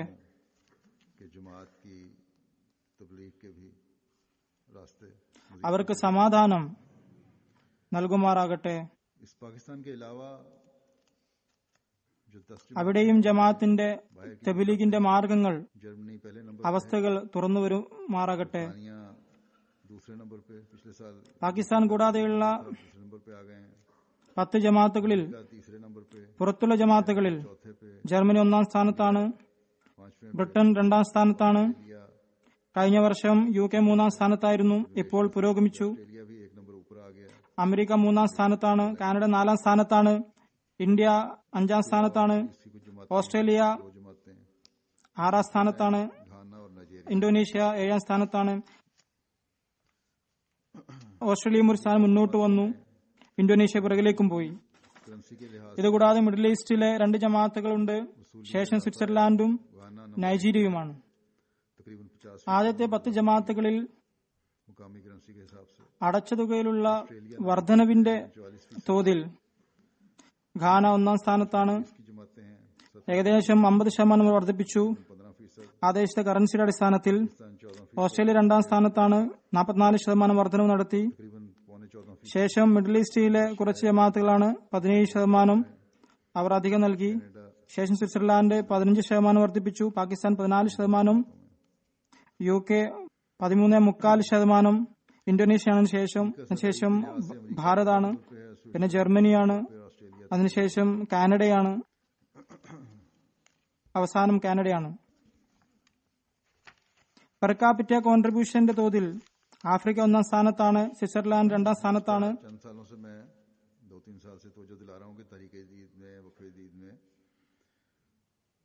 ഓസ്ട്രേലിയ മൂന്നാം സ്ഥാനത്താണ്. കഴിഞ്ഞ കുറച്ച് വർഷങ്ങളിലായി രണ്ട് മൂന്ന് വർഷങ്ങളായി ഞാൻ ഉണർത്തിക്കൊണ്ടിരിക്കുന്നു. താരീഖ ജതീദിലും വഖഫ് ജദീദിലും പങ്കെടുക്കുന്ന ആളുകളിൽ വർധന ഉണ്ടാവണം. തുകയുടെ വർധനവല്ല നോക്കേണ്ടത്? തുക സ്വയം വർദ്ധിച്ചുകൊള്ളും. സച്ചരിതയുടെ എണ്ണത്തിൽ വർധനവുണ്ടാകണം അള്ളാഹുവിന്റെ അനുഗ്രഹത്താൽ ഈ വർഷം ആളുകളുടെ മൊത്തത്തിലുള്ള എണ്ണം പന്ത്രണ്ട് ലക്ഷത്തി പതിനൊന്നായിരത്തി എഴുന്നൂറാണ്. ആയിട്ടുണ്ട്. കഴിഞ്ഞ നാല് വർഷങ്ങളിലായി ഏകദേശം ആറ് ലക്ഷം പേരുടെ വർധനവുണ്ടായിട്ടുണ്ട് गिनी को नौकरी है ഇവരിൽ ചില ജമാഅത്തുകൾ വളരെ നന്നായി പ്രവർത്തിക്കുന്നു ഉദാഹരണത്തിന് वसूली के लिहाज से घाना नंबर एक पे है കബാബീർ ബെനിൻ या फिर Mauritius Nigeria Senegal Benin Gambia Kenya Sierra Leone Cameroon Guinea Conakry के खाते अल्लाह के फजल से पाँच हजार नौ सौ सताईस अफराद हैं इसमें दफ्तरी रिकॉर्ड के मुताबिक മൊത്തത്തിലുള്ള വസൂയി നോക്കുമ്പോൾ ആഫ്രിക്കയിൽ ഗാന ഒന്നാം സ്ഥാനത്താണ്. അതിനുശേഷം നൈജീരിയ അതിനുശേഷം മോറീഷ്യസ് അതിനുശേഷം Burkina Faso Tanzania Benin Gambia Kenya Sierra Leone Uganda. ദഫ്തർ അവൽ പ്രകാരം അള്ളാഹുവിന്റെ അനുഗ്രഹത്താൽ അയ്യായിരത്തി തൊള്ളായിരത്തി ഇരുപത്തി ആളുകളുണ്ട്. നൂറ്റിയഞ്ച് ജീവനോടുള്ളവരാണ്. ബാക്കി മരിച്ചുപോയവർ അയ്യായിരത്തി എണ്ണൂറ്റി ഇരുപത്തിരണ്ട്. അവരുടെ മരിച്ചവരുടെ ഓർമ്മയിൽ നടന്നുകൊണ്ടിരിക്കുകയാണ്. പാകിസ്ഥാനിലെ മൂന്ന് വലിയ ജമാഅത്തുകളിൽ ത്യാഗങ്ങളുടെ കാര്യത്തിൽ ഒന്നാമത് ലാഹോറാണ് രണ്ടാം സ്ഥാനം റബ്വയാണ് മൂന്നാമത് കറാച്ചിയാണ്. പാകിസ്ഥാൻ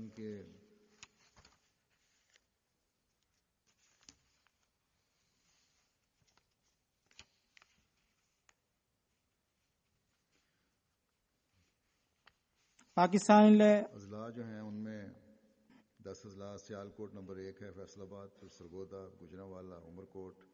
പത്ത് ജില്ലകളിൽ സിയാൽകോട്ട് ഒന്നാം സ്ഥാനത്താണ്.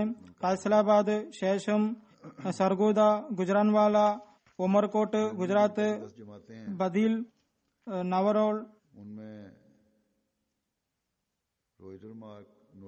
തോബ ടേക് സിംഗ് കസൂർ നാങ്കാര സാഹിബ്. ജർമ്മനിയിലെ ആദ്യത്തെ പത്ത് ജമാഅത്തുകളിൽ റോയിറ്റർമാർക്ക് നോയ്സ് മദ്യവാദ് മൊയ്ഷ് ന്യൂസ്ബർഗ് നിഡ മോക്സോൾ നോയിഡ് ലോക്കൽ ഇമാരത്തുകളിൽ ഹാംബർഗ് ഫങ്ഫർട്ട് ഗ്രാസ്ക്രൗ ജാംഷഡ് ഓഫൻബൌഡ് മോർഫിൽട്ടൺ വോൾട്ടോഫ് ജീസ്റ്റഡ് മസ്ജിദ് ഫസൽ ന്യൂ മോൾട്ടൺ ഈടാക്കിയ തുക അനുസരിച്ച് ബ്രിട്ടനിലെ ആദ്യത്തെ പത്ത് ജമാഅത്തുകൾ മസ്ജിദ് Fazal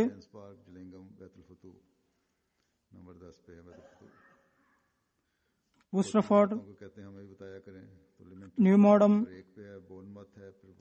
West Hill mosque West ബർങ്ങിമൂൺ central cranes park ജിംഗം ബൈത്തുൽ ഫത്തു പത്താം സ്ഥാനത്താണ് ചെറിയ ജമാഅത്തുകൾ ഞങ്ങളെക്കുറിച്ചും പറയണമെന്ന് പറയുന്നു. അതുപ്രകാരം ബോൺമത്ത് ഗുൽബർഹാംപ്ടൺ ചന്ദ്രനലി ഹെ മൊക്കവൻട്രി ഹെ തുകയിലുള്ള വർധനവിന്റെ അടിസ്ഥാനത്തിൽ അഞ്ച് ജില്ലകളാണ് ലണ്ടനുകളുടെ Midland North East South Middlesex. വസൂലായ തുകയിലുള്ള വർധനവിന്റെ അടിസ്ഥാനത്തിൽ അമേരിക്കയിലെ അഞ്ച് ജമാത്തുകളാണ് മുന്നിൽ.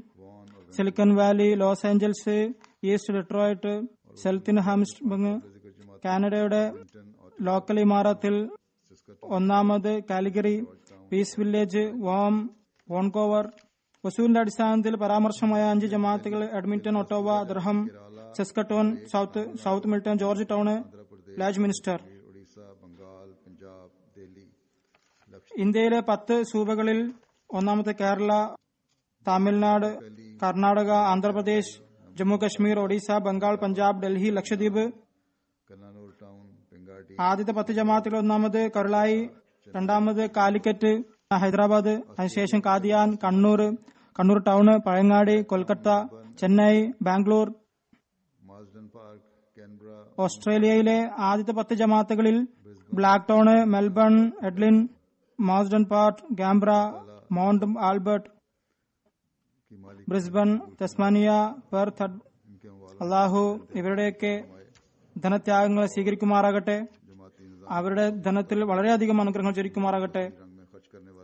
ഈ ധനം ശരിയായ രീതിയിൽ ചെലവ് ചെയ്യുന്നവരാകാൻ ജമാഅത്തിന്റെ നേതൃത്വത്തിനും കഴിവ് നൽകുമാറാകട്ടെ. ജുമാ നമസ്കാരത്തിന് ശേഷം ഒരു ജനാസ ഗായിബ് ഞാൻ നമസ്കരിപ്പിക്കുന്നതാണ്. അത് നമ്മുടെ പ്രാദേശിക മൊല്ലിം മുബല്യഗ് ബഹുമാനപ്പെട്ട അൽഹാജി യൂസഫ് സാഹിബ് ഖാനയുടേതാണ്. നവംബർ രണ്ടാം തീയതി രാത്രി പത്ത് നാൽപ്പത്തഞ്ചിന് കുമാസിൽ വഫാത്തായി. ഇന്നാലില്ലാഹി വൈനായിലെ റാജിയോൻ നവംബർ രണ്ടാം തീയതി പകൽ ബുങ്കട്ടങ്ക റീജിയനിലെ ക്ഷണപ്രകാരം അവിടെയുള്ള പള്ളി നിർമ്മാണത്തിന് വേണ്ട നിർദ്ദേശങ്ങൾ നൽകാനായി കുമാസിൽ നിന്നും ഗോൾഗണ്ടയിൽ പോയി. അറുന്നൂറ് കിലോമീറ്റർ ദൂരെയാണ് യാത്ര ചെയ്തത്. ടുമാല റീജിയനിലെ നവാഗതരുടെ അടുത്ത് അവിടെ നിർമ്മിച്ചുകൊണ്ടിരിക്കുന്ന മസ്ജിദ് കാണാൻ വേണ്ടി പോയി. തമാലയിലാണ് രാത്രി കഴിയേണ്ടിയിരുന്നത്. എന്നാൽ കുമാസിയിൽ പോകാൻ നിർബന്ധിച്ചു.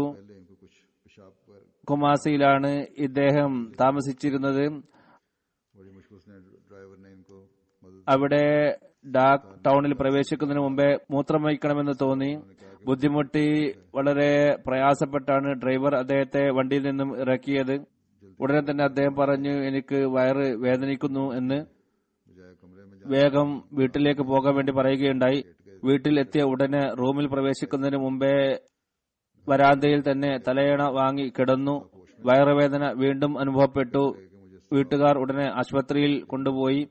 അപ്പോൾ അദ്ദേഹത്തിന് ബോധമുണ്ടായിരുന്നു. ഡോക്ടറോട് പറഞ്ഞു എന്നെ വേഗം ഉറക്കിയാലും അദ്ദേഹത്തെ പരിശോധിച്ചു കൊണ്ടിരിക്കുമ്പോൾ തന്നെ മരണത്തിലേക്ക് പോവുകയായിരുന്നു. ഉടനെ മരിക്കുകയും ചെയ്തു. ഡോക്ടർ കുട്ടികളോട് പറഞ്ഞു നിങ്ങളുടെ പിതാവിനെ എനിക്കറിയില്ല. എന്നാൽ ഇദ്ദേഹത്തിന്റെ മരണം കണ്ടാൽ അറിയാം ഇദ്ദേഹം മഹാനായ ഒരു വ്യക്തിയാണ്. പതിനഞ്ച് ഡിസംബർ ആയിരത്തി തൊള്ളായിരത്തി നാൽപ്പത്തിരണ്ടിൽ കമാസിയിലാണ് ജനിച്ചത് ക്രിസ്തീയ കുടുംബത്തിൽ. ചെറുപ്പത്തിൽ തന്നെ മതത്തോട് നല്ല താല്പര്യമുണ്ടായിരുന്നു. വെസ്റ്റ് റീജിയനിൽ തന്റെ എളാപ്പയോട് കൂടെ താമസിച്ചുകൊണ്ട് പഠിക്കുകയായിരുന്നു. ഒരു ദിവസം അദ്ദേഹത്തിന് ഇങ്ങനെ ചിന്ത വരികയുണ്ടായി. ലോകത്തിലെ എല്ലാ സുഖങ്ങളും സമ്പത്തും എല്ലാം ഞാൻ വാരിക്കൂട്ടിയാലും ദൈവം എന്നോട് തൃപ്തിപ്പെട്ടിട്ടില്ലെങ്കിൽ എനിക്ക് അതുകൊണ്ട് എന്ത് ലാഭമാണ് ഉണ്ടാവുക എളാപ്പക്ക് ഫിലിം ഇൻഡസ്ട്രിയിലാണ് ജോലി ഉണ്ടായിരുന്നത്. അതുകൊണ്ട് അദ്ദേഹത്തിന് ഫിലിം കാണുന്ന ശീലമുണ്ടായിരുന്നു. അതിനോടെല്ലാം വെറുപ്പ് തോന്നി. അതെല്ലാം ഉപേക്ഷിച്ച് അദ്ദേഹം തിരിച്ചുപോന്നു. റൌൺ കത്തോലിക് ചർച്ചിൽ കയറി ദ്വാ ചെയ്യുകയുണ്ടായി. അള്ളാഹുവെ എന്റെ ജീവിതം നിന്റെ കോപത്തെ കരസ്ഥമാക്കുന്നതാണെങ്കിൽ നിന്റെ തൃപ്തി കരസ്ഥമാക്കുന്ന അവസ്ഥ വന്നാൽ എന്റെ ജീവൻ നീ എടുക്കണമേ. അള്ളാഹു അദ്ദേഹത്തിന് ദ്വാ സ്വീകരിക്കുകയും അഹമ്മദത്ത് സ്വീകരിക്കാനുള്ള തൗഫീക്ക് ലഭിക്കുകയും ചെയ്തു. ആ സമയത്ത് തന്നെ അള്ളാഹു ദ്വാ സ്വീകരിച്ചു എന്നാണ് മനസ്സിലാകുന്നത്. ദ്വാ കഴിഞ്ഞ് പുറത്തിറങ്ങിയപ്പോൾ അദ്ദേഹത്തിന്റെ ഒരു സുഹൃത്ത് പുറത്ത് അദ്ദേഹത്തെ കാത്തിരിക്കുന്നുണ്ടായിരുന്നു. ഇദ്ദേഹത്തിന്റെ ആദ്യത്തെ പേര് ജോസഫ് എന്നായിരുന്നു. സുഹൃത്ത് പറഞ്ഞു എനിക്കൊരു കൂട്ടരുടെ തബലിയെ കേൾക്കാൻ സാധിച്ചു. അത് എനിക്ക് വളരെ ഇഷ്ടപ്പെടുകയുണ്ടായി. ആ ജമയത്ത് പ്രവേശിക്കാൻ ഞാൻ മിഷൻ ഹൗസിലേക്ക് പോവുകയാണ്. യൂസഫ് സാഹിബിനോട് പറഞ്ഞു നീയും എന്നോടൊപ്പം വരാൻ ഇഷ്ടപ്പെടുന്നുണ്ടെങ്കിൽ വരിക. അദ്ദേഹം പറഞ്ഞു ഞാനും വരുന്നു. രണ്ടുപേരും കുമാസിയിൽ മിഷൻ ഹൗസിൽ പോയി. അവിടെ മുബല്ലി സിൽസിലയുമായി മുലാഖാത്ത് നടത്തി. മുബല്ലി ഇരുവരോടും ബയ്യത്ത് ചെയ്യാൻ വന്നത് ആരാണ്? എന്ന് ചോദിക്കാതെ രണ്ടുപേർക്കും ബയ്യത്തിന്റെ നിബന്ധനകൾ വായിച്ചു കേൾപ്പിക്കുകയുണ്ടായി. എന്നിട്ട് ചോദിച്ചു ആരാണ് ബയ്യത്ത് ചെയ്യാൻ ഉദ്ദേശിക്കുന്നത്? ഇത് കേട്ടപ്പോൾ തന്നെ യൂസുഫ് സാഹിബ് പറഞ്ഞു ഞങ്ങൾ രണ്ടുപേരും ബയ്യത്ത് ചെയ്യാൻ ആഗ്രഹിക്കുന്നു. അദ്ദേഹം അങ്ങനെ അഹമ്മദിയത്തിൽ പ്രവേശിച്ചു. അപ്പോൾ പ്രായം പതിനാറായിരുന്നു. തുടർന്ന് മാതാപിതാക്കളുടെ പ്രത്യേകിച്ച് പിതാവിന്റെ എതിർപ്പ് നേരിടേണ്ടി വന്നു. എന്നാൽ ഈ ബയ്യത്തിൽ അദ്ദേഹം ഉറച്ചു നിന്നു സത്യത്തിൽ നിന്നും പിന്മാറിയില്ല. ഇതിനുശേഷം മൊല്ലിമായി മൊല്ലിമാകുന്നതിന് മുമ്പേ തന്നെ പിതാവിനെ തബ്ലീ ചെയ്തുകൊണ്ടിരുന്നു. അങ്ങനെ അവരും അഹമ്മദിയത്ത് സ്വീകരിക്കുകയുണ്ടായി. ഇരുപതാമത്തെ വയസ്സിൽ ജാമിയത്തുൽ ഉബഷറിൽ ഖാനയിൽ നിന്നും മുഅല്ലിം കോഴ്സ് പൂർത്തിയാക്കി. അതിനുശേഷം വിവാഹം നടന്നു. അമീന അഡു സയ്യിദ് സാഹിബയാണ് ഭാര്യ.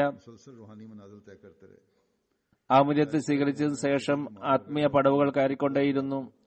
നാൽപ്പതാം വയസ്സിൽ കഠിന രോഗിയായി ഡോക്ടർമാർ എല്ലാവരും പറഞ്ഞു കാൽ മുറിച്ചു കളയണം എന്ന് പറയുകയുണ്ടായി. ഇതല്ലാതെ മറ്റൊരു ചികിത്സയും ഇല്ല. ചില ഡോക്ടർമാർ പറഞ്ഞത് ഒരു ചികിത്സയും ഈ രോഗത്തിന് ഇല്ല എന്നുള്ളതാണ്. നിങ്ങൾ കൂടുതൽ കാലം ജീവിക്കുകയില്ല എന്നും പറഞ്ഞു. അവസാനം അദ്ദേഹം പറയുന്നു ഡോക്ടർമാർ ചികിത്സിക്കാൻ കഴിയാതെ വരുമ്പോൾ ഞാൻ ചിലപ്പോൾ വേദനയ്ക്കുള്ള ഇഞ്ചക്ഷൻ സ്വയം എടുക്കുമായിരുന്നു. എന്റെ സുഖമില്ലാത്ത കാലിനെ നോക്കി ഞാൻ പറയും എന്റെ കാലെ ഞാൻ അള്ളാഹുവിന്റെ ദാസനും വാഗ്ദത്ത മസീന്റെ ശിഷ്യനുമാണ്. എനിക്ക് വിവിധ സ്ഥലങ്ങളിൽ പോയി തബിലി ചെയ്യാനുണ്ട് ഈ മാർഗത്തിൽ നീ ഒരു തടസ്സമായിരിക്കുകയില്ല. ഞാൻ അദ്ദേഹത്തെ സ്വയം കണ്ടിട്ടുണ്ട്. തബിലീഗ് ചെയ്യുന്ന കാര്യത്തിൽ നല്ല താല്പര്യമായിരുന്നു ഇദ്ദേഹത്തിന്. ഇദ്ദേഹത്തെ ഖലീഫത്തുൽ മസീർ റാബി ചികിത്സക്കായി അമേരിക്കയിലേക്ക് അയച്ചു. ഡോക്ടറിന് ഖലീഫത്തുൽ മസീർ റാബി ഇപ്രകാരം കത്തെഴുതുകയുണ്ടായി. താങ്കൾ ഭാഗ്യവാനാണ്. യൂസുഫിന്റെ ചികിത്സയിൽ താങ്കളും പങ്കാളിയാവുകയാണ്. യൂസുഫ് താങ്കളുടെ അടുത്ത് വന്നു എന്ന് കരുതരുത്. മറിച്ച് ഞാൻ താങ്കളുടെ അടുത്ത് വന്നു എന്നാണ് കരുതേണ്ടത്. കാരണം യൂസഫ് എനിക്ക് വളരെ പ്രിയപ്പെട്ട വ്യക്തിയാണ്. അതുകൊണ്ട് എന്നെ ഏതു രീതിയിൽ താങ്കൾ നോക്കുമോ അതേപോലെ അദ്ദേഹത്തെ നോക്കേണ്ടതാണ്. ഡോക്ടർമാർ നാല് ഓപ്പറേഷൻ നിർണയിച്ചു. ഡോക്ടർ അമീദുർ റഹ്മദ് സാഹിബാണ് ഇത് ചെയ്യേണ്ടിയിരുന്നത്. മൂന്നാമത്തെ ഓപ്പറേഷന് ശേഷം യൂസഫ് സാഹിബ് പറഞ്ഞു ഇനി ഓപ്പറേഷൻ വേണ്ട.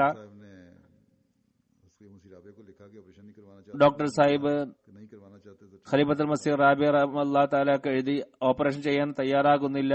അപ്പോൾ ഖലീഫത്തുൽ മസീർ റാബി പറഞ്ഞു അദ്ദേഹം സമ്മതിക്കുന്നില്ലെങ്കിൽ ചെയ്യണ്ട. എന്നാൽ ഇദ്ദേഹം ഇതിനു മുമ്പേ ഖലീഫത്തുൽ മസീർ റാബിന് ഒരു കത്തയച്ചിരുന്നു. അദ്ദേഹം ഒരു സ്വപ്നം കണ്ടിട്ടുണ്ടായിരുന്നു. അതിന്റെ അടിസ്ഥാനത്തിലാണ് ഖലീഫത്തുൽ മസീർ റാബി പറഞ്ഞത്. ഇദ്ദേഹം ഓപ്പറേഷൻ ചെയ്യാൻ ഉദ്ദേശിക്കുന്നില്ലെങ്കിൽ ചെയ്യേണ്ട. എന്നാൽ ഒരു കാര്യം ഞാൻ താങ്കളോട് പറയാൻ ആഗ്രഹിക്കുന്നു. ഇദ്ദേഹം അള്ളാഹുവിന്റെ അനുഗ്രഹത്താൽ സുഖം പ്രാപിക്കുന്നതാണ്. അതിന് ശേഷം അള്ളാഹു അദ്ദേഹത്തിന് സുഖം നൽകി. യൂസുഫ് സാഹ് പറയുന്നു ഞാൻ റൂമിലായിരുന്നു. അപ്പോൾ റൂമിന്റെ ചുമരിൽ ഒരു ആയത്ത് ഇങ്ങനെ എഴുതുന്നുണ്ട്. അതിന്റെ പിന്നിൽ ആ ആയത്തിന് ഇങ്ങനെ തിരാവ് ചെയ്യുന്നത് ഞാൻ കേൾക്കുകയുണ്ടായി. ഇന്നല്ലസീന കാലു റബ്ബുൻ അള്ളാഹു സുമസ്തക്കാമും തിലാവത്തിന് ശേഷം ഒരു അപരിചിതൻ റൂമിൽ പ്രവേശിച്ചു. എന്നിട്ട് എന്റെ അടുത്തിരുന്നു എന്റെ കാലിൽ തടവിക്കൊണ്ട് പറഞ്ഞു യൂസഫെ വിഷമിക്കേണ്ട. ഈ രോഗം ഇല്ലാതായിത്തീരുന്നതാണ്. ഉടനെ സുഖം പ്രാപിക്കുന്നതാണ്. ഒമ്പത് വർഷം വരെ ഈ രോഗാവസ്ഥയിൽ കഴിച്ചുകൂട്ടി. എന്നാൽ അതിനുശേഷം അത്ഭുതമാണ് സംഭവിച്ചത്. അവസാനം വരെ അതിന്റെ ഒരു ലക്ഷണവും പിന്നീട് പ്രകടമായില്ല. മുബല്ലികായ കൗസർ സാഹിബ് പറയുന്നു കാദ്യാനിൽ രണ്ടായിരത്തി അഞ്ചിൽ ഞാൻ അദ്ദേഹത്തെ കണ്ടു. കാരണം ഇദ്ദേഹം അമേരിക്കയിൽ ഇദ്ദേഹത്തിന്റെ അവസ്ഥ കണ്ടിരുന്നതാണ്. അദ്ദേഹം കാദ്യാനിന് ചാടി കാണിച്ചുകൊണ്ട് പറഞ്ഞു എന്റെ കാൽ നോക്കുക പൂർണമായും സുഖം പ്രാപിച്ചിരിക്കുന്നു. അറുപത്തിമൂന്നാം വയസ്സിൽ മരിക്കുമെന്ന് അള്ളാഹുവിൽ നിന്നും അദ്ദേഹത്തിന് സൂചന ലഭിച്ചിരുന്നു. അറുപത്തിമൂന്നാം വയസ്സ് ആയപ്പോൾ അദ്ദേഹം മക്കളെ വിളിച്ചു വരുത്തിക്കൊണ്ട് വിശുദ്ധ ഖുർആാന്റെ ആയത്തോതി കൽപ്പിച്ചു കുന്തും ഇത് ഹലറ യാക്കൂബൽ മഹത്തു ഇത് കാലലി ബനീഹി മാ താബുദൂന പറയുന്നു ഞാൻ മക്കളെ ഒരുമിച്ച് കൂട്ടി അവരോട് ചോദിച്ചു എനിക്ക് ശേഷം നിങ്ങൾ ഏത് ദൈവത്തെയാണ് ആരാധിക്കുക? യാക്കൂബ് ചോദിച്ചതുപോലെ ഞാനും നിങ്ങളോട് ചോദിക്കുകയാണ് ഏത് റബ്ബിനെയാണ് നിങ്ങൾ ആരാധിക്കുക? എല്ലാവരും പറഞ്ഞു ഞങ്ങൾ അള്ളാഹുവിനെ ആരാധിക്കുന്നതാണ്. എന്റെ ജീവിതം നിങ്ങളുടെ മുമ്പിലുണ്ട് അദ്ദേഹം പറയുകയുണ്ടായി ഞാൻ എന്റെ ജീവിതം മുഴുവനും ജമായത്തിനായി ചിലവഴിച്ചു. എന്റെ മരണം അടുത്തു വന്നിരിക്കുകയാണ്. ഏറ്റവും കൂടുതൽ തക്വയുള്ള ആളായിരിക്കും എന്റെ യഥാർത്ഥ പിൻഗാമി. കുറച്ച് നാളുകൾക്ക് ശേഷം തന്റെ സഹോദരൻ അൽഹാജ് ഷെരീഫ് സാഹിബിനോട് അദ്ദേഹം പറഞ്ഞിരുന്നു അറുപത്തിമൂന്നാം വയസ്സിൽ എന്റെ അടുത്ത് മലക്കുൽ മാത്ത് വന്നിരുന്നു. ഞാൻ അല്പം കൂടി സമയം ചോദിച്ചു. അപ്പോൾ മലക്ക് പറഞ്ഞു കുറച്ച് സമയം നീട്ടിത്തരാം. അദ്ദേഹം പറഞ്ഞു മലക്ക് കൃത്യമായി പറഞ്ഞിരുന്നില്ല എത്ര വർഷം വരെ ജീവിക്കുമെന്നുള്ളത്. ഏകദേശം എഴുപത് വയസ്സിന്റെ അടുത്ത് വരെ സമയം നൽകി എന്നാണ് ഞാൻ മനസ്സിലാക്കിയിരുന്നത്. മൗലാന വഹാബ് ആദം സാഹിബ് വഫാത്തായപ്പോൾ അദ്ദേഹം പറയാറുണ്ടായിരുന്നു ഇനി എന്റെ ചാൻസ് ആണ് എന്നുള്ളത്. ഖാനയിലെ മുഖലിസിങ്ങൾ വിട പറഞ്ഞു പോവുകയാണ്. ഇവരെക്കാൾ ഉന്നതരായിരിക്കുന്ന മുഖലിസിങ്ങൾ അള്ളാഹു അവർക്ക് നൽകുമാറാകട്ടെ. ഈ വർഷം ജൽസയിൽ ഇവിടെ വന്നിരുന്നു രോഗിയായിരുന്നു. ചികിത്സക്കായി ഞാൻ ഡോക്ടർമാരോട് പറഞ്ഞിരുന്നു. ഇദ്ദേഹം പറഞ്ഞിരുന്നത് വേണ്ട ഞാൻ തിരിച്ചു പോവുകയാണ് എന്നാണ്. ഡോക്ടർമാരും പറഞ്ഞത് ചികിത്സ അവിടെയാണ് നല്ലത് എന്നുള്ളതാണ്. ഖലീഫത്തുൽ മസീർ റാബി ഇവിടെ യു കെയിൽ ജൽസയിൽ പ്രസംഗം മധ്യ അദ്ദേഹത്തെ സ്റ്റേജിലേക്ക് വിളിച്ചു അദ്ദേഹത്തിന്റെ തോളിൽ കൈവച്ചുകൊണ്ട് പറഞ്ഞു യൂസുഫ് താങ്കളുടെ സൽപ്രവർത്തനങ്ങൾ ജനസമക്ഷം കേൾപ്പിക്കുന്നത് താങ്കൾക്ക് ഇഷ്ടമില്ല എന്ന് എനിക്കറിയാം. എന്നാൽ താങ്കളുടെ പ്രവൃത്തി പ്രത്യക്ഷമായി കഴിഞ്ഞിരിക്കുകയാണ്. ഞാൻ ജമായത്തിന് അറിയിക്കാൻ ആഗ്രഹിക്കുന്നു. ഇദ്ദേഹം സാത്വികനും മുഖ്ലിസുമായ വ്യക്തിയാണ്. ഇത് പറയുമ്പോൾ എല്ലാം തന്നെ ഇദ്ദേഹം കരഞ്ഞുകൊണ്ടിരിക്കുകയായിരുന്നു. രണ്ടായിരത്തി നാലിൽ ഞാൻ ആദ്യമായി ഗാനയെ സന്ദർശിക്കാൻ പോയപ്പോഴും ഞാൻ അവിടെ കണ്ടിട്ടുണ്ട്. ധനത്യാഗത്തിൽ വളരെ മുമ്പന്തിയിലാണ് അദ്ദേഹം ഇദ്ദേഹം ഒരു മരുന്ന് കണ്ടുപിടിച്ചിരുന്നു എന്നാണ് ഞാൻ ഓർക്കുന്നത്. അതിന് നല്ല മാർക്കറ്റിംഗ് കിട്ടി. അത് മുഖേന നല്ല വരുമാനം കിട്ടുമായിരുന്നു. അതുകൊണ്ട് കുറെ പള്ളികൾ ഇദ്ദേഹം സ്വന്തം ചെലവിൽ നിർമ്മിച്ചിട്ടുണ്ട്. നാൽപ്പത് നാൽപ്പത്തഞ്ച് മസ്ജിദുകളാണ് നിർമ്മിച്ചിട്ടുള്ളത്. ചില പള്ളികൾ വളരെ വലുതാണ് നല്ലതാണ് വളരെ വിശാലമായ പള്ളികളാണ്.